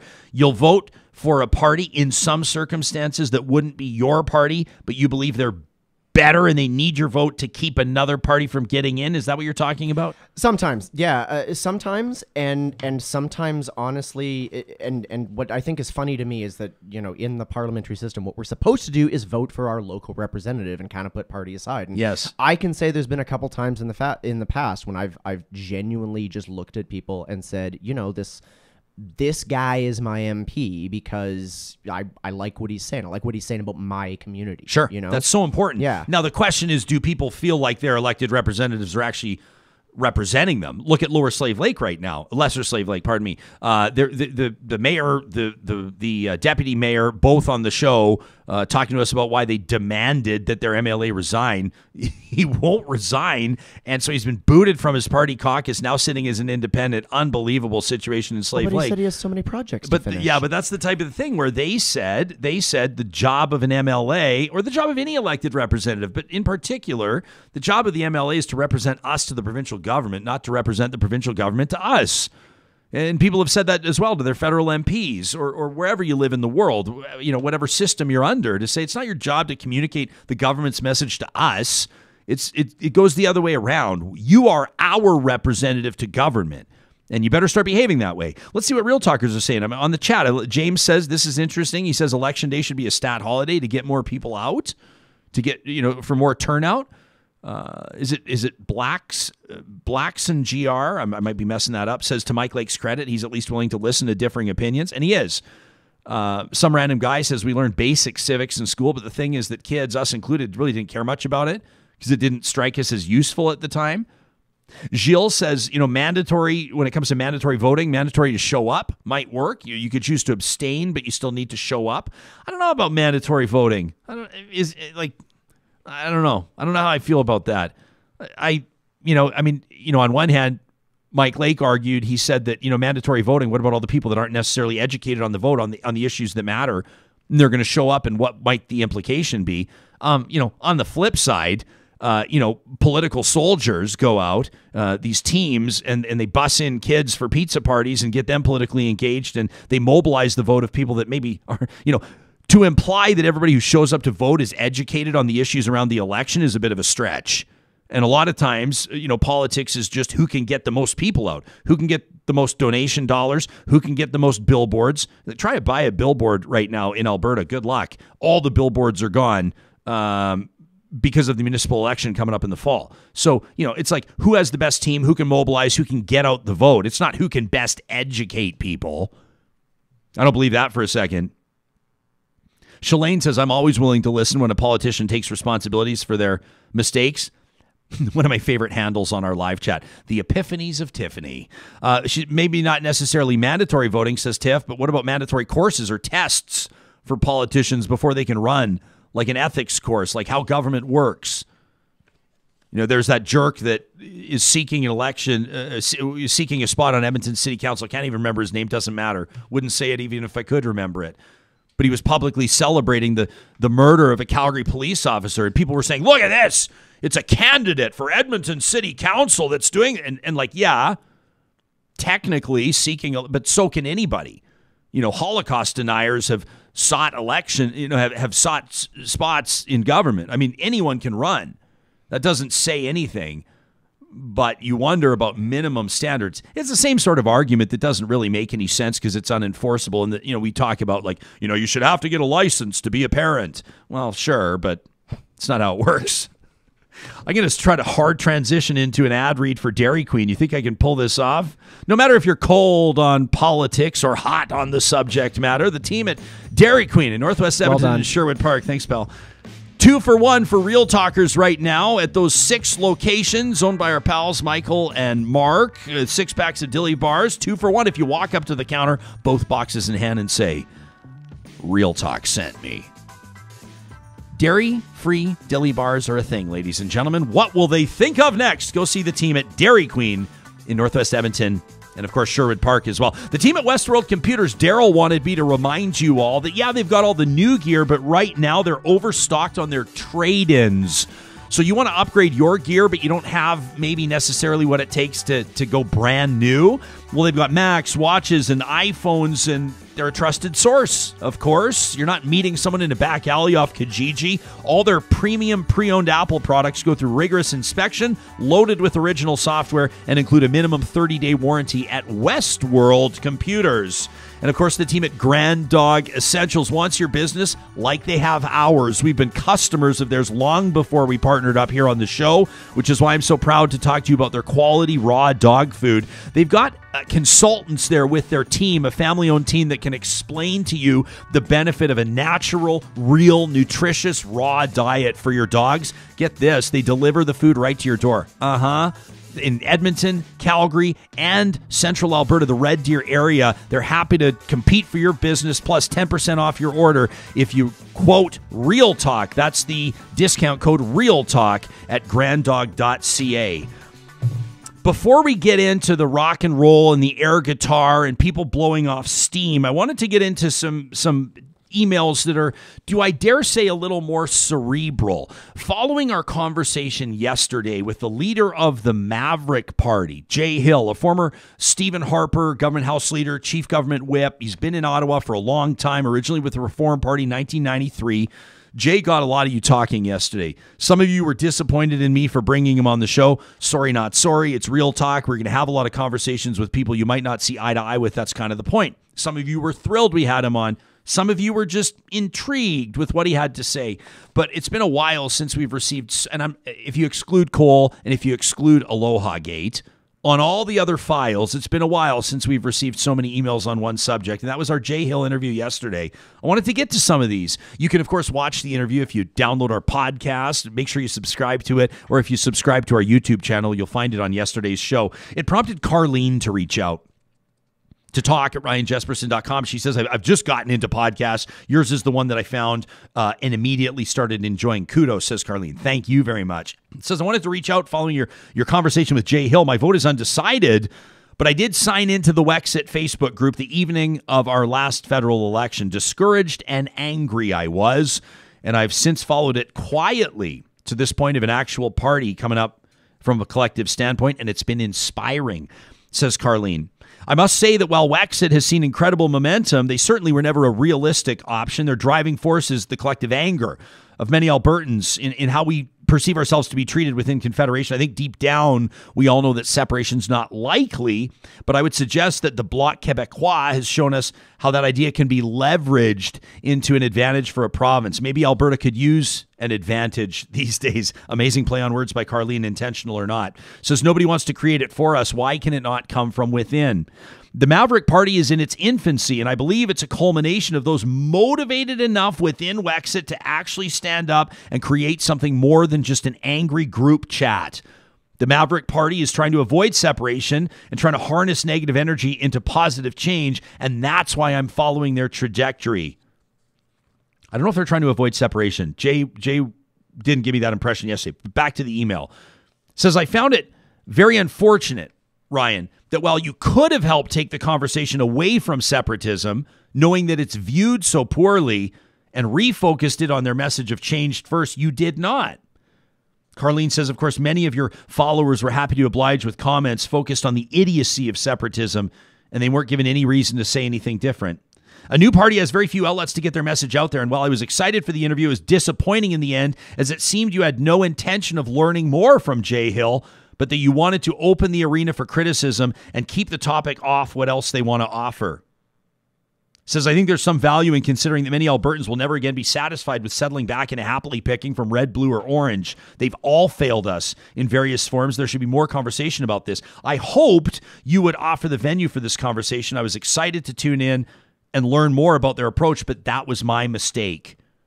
She says, This was the first time I felt that your reporting was disappointingly biased. That from Carlene. I appreciate Carlene watching. I appreciate her subscribing to the podcast. I appreciate her taking the time to send me an email. Uh, I'm more inclined to read emails that criticize our show and that criticize my approach than I am to read emails that glowingly celebrate everything we do. And so I appreciate this. I am going to push back. Uh, I gave Jay Hill, you're right, a platform on Canada's most listened to daily news podcast and the fastest growing online talk show in the country because of the premise of the show. We want real talk on issues that matter. But it would be against everything I stand for to ignore the the mandate of Alberta separation or of Western sovereignty or however you want to frame it. Because if you don't discuss that in the context of the Maverick Party, what are you even talking about? It either is a separation party or it is not. Think of how you characterize, you reference the Bloc Québécois. How do you characterize that party? Their entire mandate is Quebec sovereignty, right? So everything around their policy, everything they stand for, everything that they uh, vote on in the House of Commons comes back to that focus, that mandate, that bedrock, if you will. But I started the interview asking Jay Hill what he'd do right now with the current situation around Keystone XL, the pipeline. That has nothing to do with separation. He took it into Alberta sovereignty, right?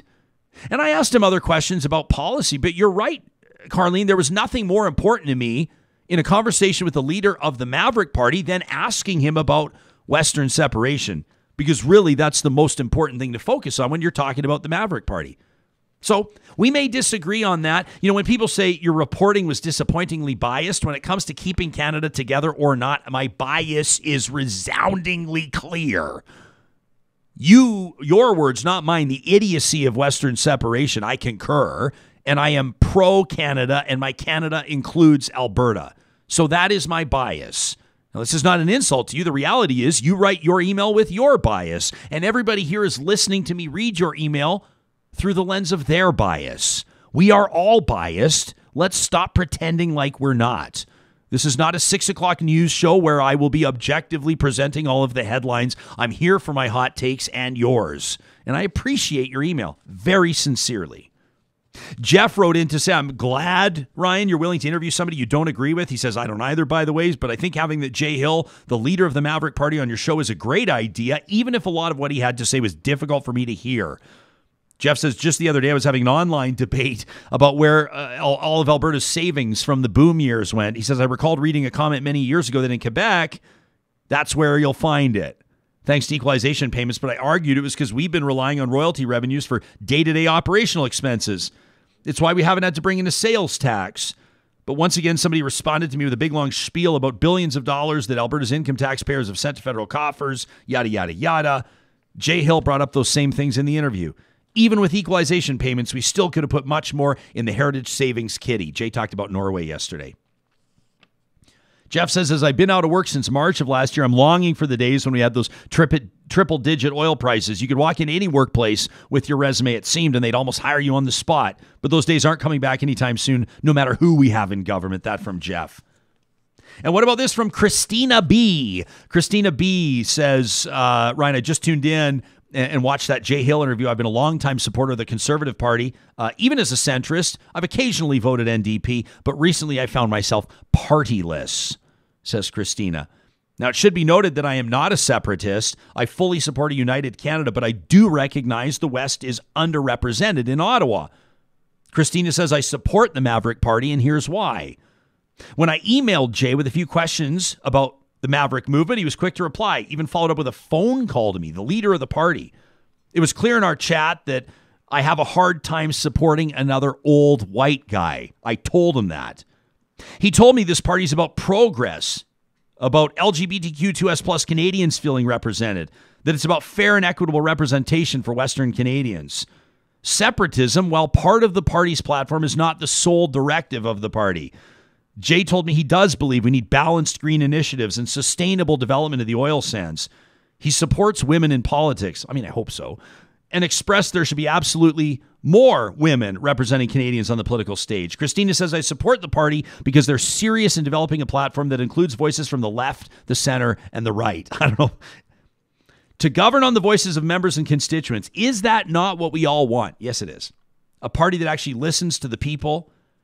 Christina says, despite the name, which is very difficult to get past, it actually is a party for the partyless and not so far right as many as uh, as many are being led to believe.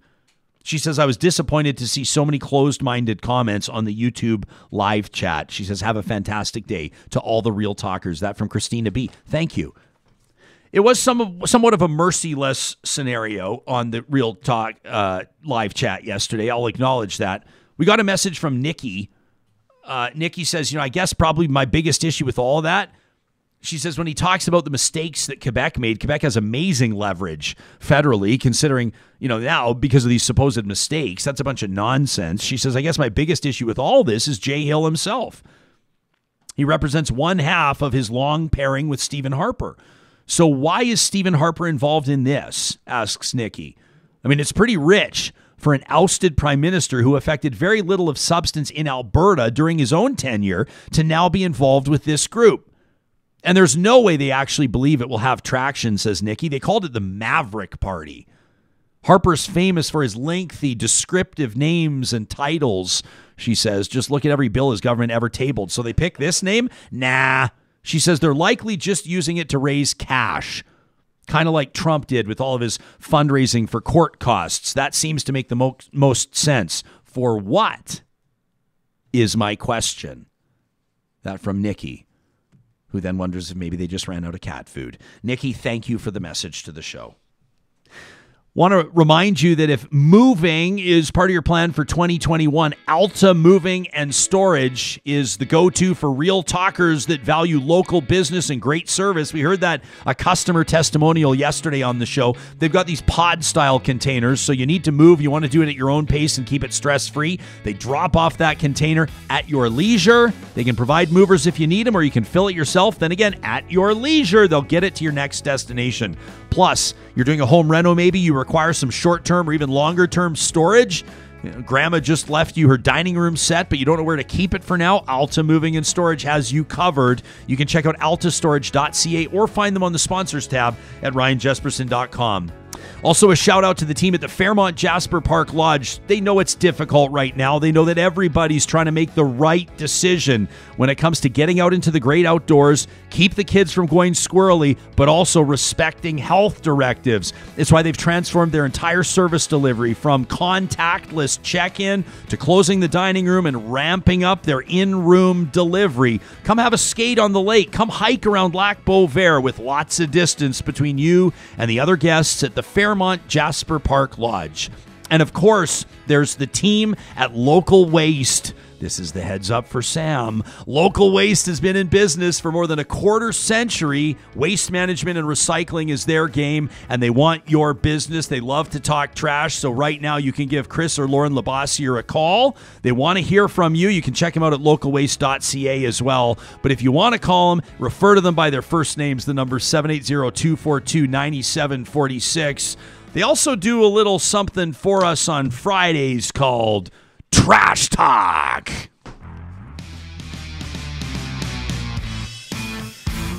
All right, Trash Talk presented by Local Waste. These are emails, rants that are sent in to talk at ryanjespersen.com, like this one from Callan. Callan says, Jespo, Jenny's call, uh, Jason Kenney's call for U.S. San- Jenny. The call for U.S. sanctions is going to backfire. It's politics. It's not real, but Southern Alberta has deep connections to the states going back to before Confederation. Economies near the border depend on that relationship. Sanctions hurt people, and it will not be lost on Americans or Albertans with American ties. Our business connections are strong. Threatening that will not play well with pro business UC peers. That from Callan. How about this one from Arif? Arif says, Jespo, thanks for doing your video cast. My mom and I started tuning in last week. We both love your show. My conservative father thinks you're a kook. It's probably because he's just projecting his own insecurities onto others around him. That from Arif. This one from Valente, who says, I'm not sure what's happened, but since Aloha Gate, it's been one internationally embarrassing gaffe after another. Premier Kenney shocked that Joe Biden accomplished a campaign promise. As you've outlined, Jespo, Keystone was a pipeline likely never to be built, and our government gambled a billion and a half dollars on Donald Trump's re election. Under Obama, we saw a decrease in oil production in the U.S., likely another scenario under Biden. If oil production goes down in the States, means more demand for ours. Tony says, thanks for keeping us all informed. This one from Corey, who says, with the talk of canceling KXL in the U.S., why are we not considering building a big refinery run by a crown corporation here in Alberta? That's a hot button topic. He says, I know Albertans would love to be able to buy Alberta branded oil. Just look at Alberta beef. At the very least, I'd like to learn why or why not it's a good idea. Wouldn't it create jobs? I keep hearing it's too expensive or it's not economical. To me, it's a safer bet than dumping a billion and a half into Keystone. Appreciate that one there. And this from Gerald, who takes me to task on his trash talk. He says, Jespersen, the other day, feeling inspired, you encouraged urged us to rise up, rise up in the political process. Ryan, check yourself. Those are dangerous words, especially when we see what's happening in the U.S. I'm concerned about our society and how it's developing such divisiveness. Those on the far right will view you as a leftist and it will bolster their emotions to respond in unconstructive ways. I'd like to suggest you focus more on the positives during the time of the pandemic. Lift Albertans up. Thanks for listening. That from Gerald. You can be in touch with us anytime by sending your trash talk to talk at ryanjespersen.com, presented by Local Waste. Have an amazing weekend. We will talk to you again live again Monday morning at 8:30 Mountain Time.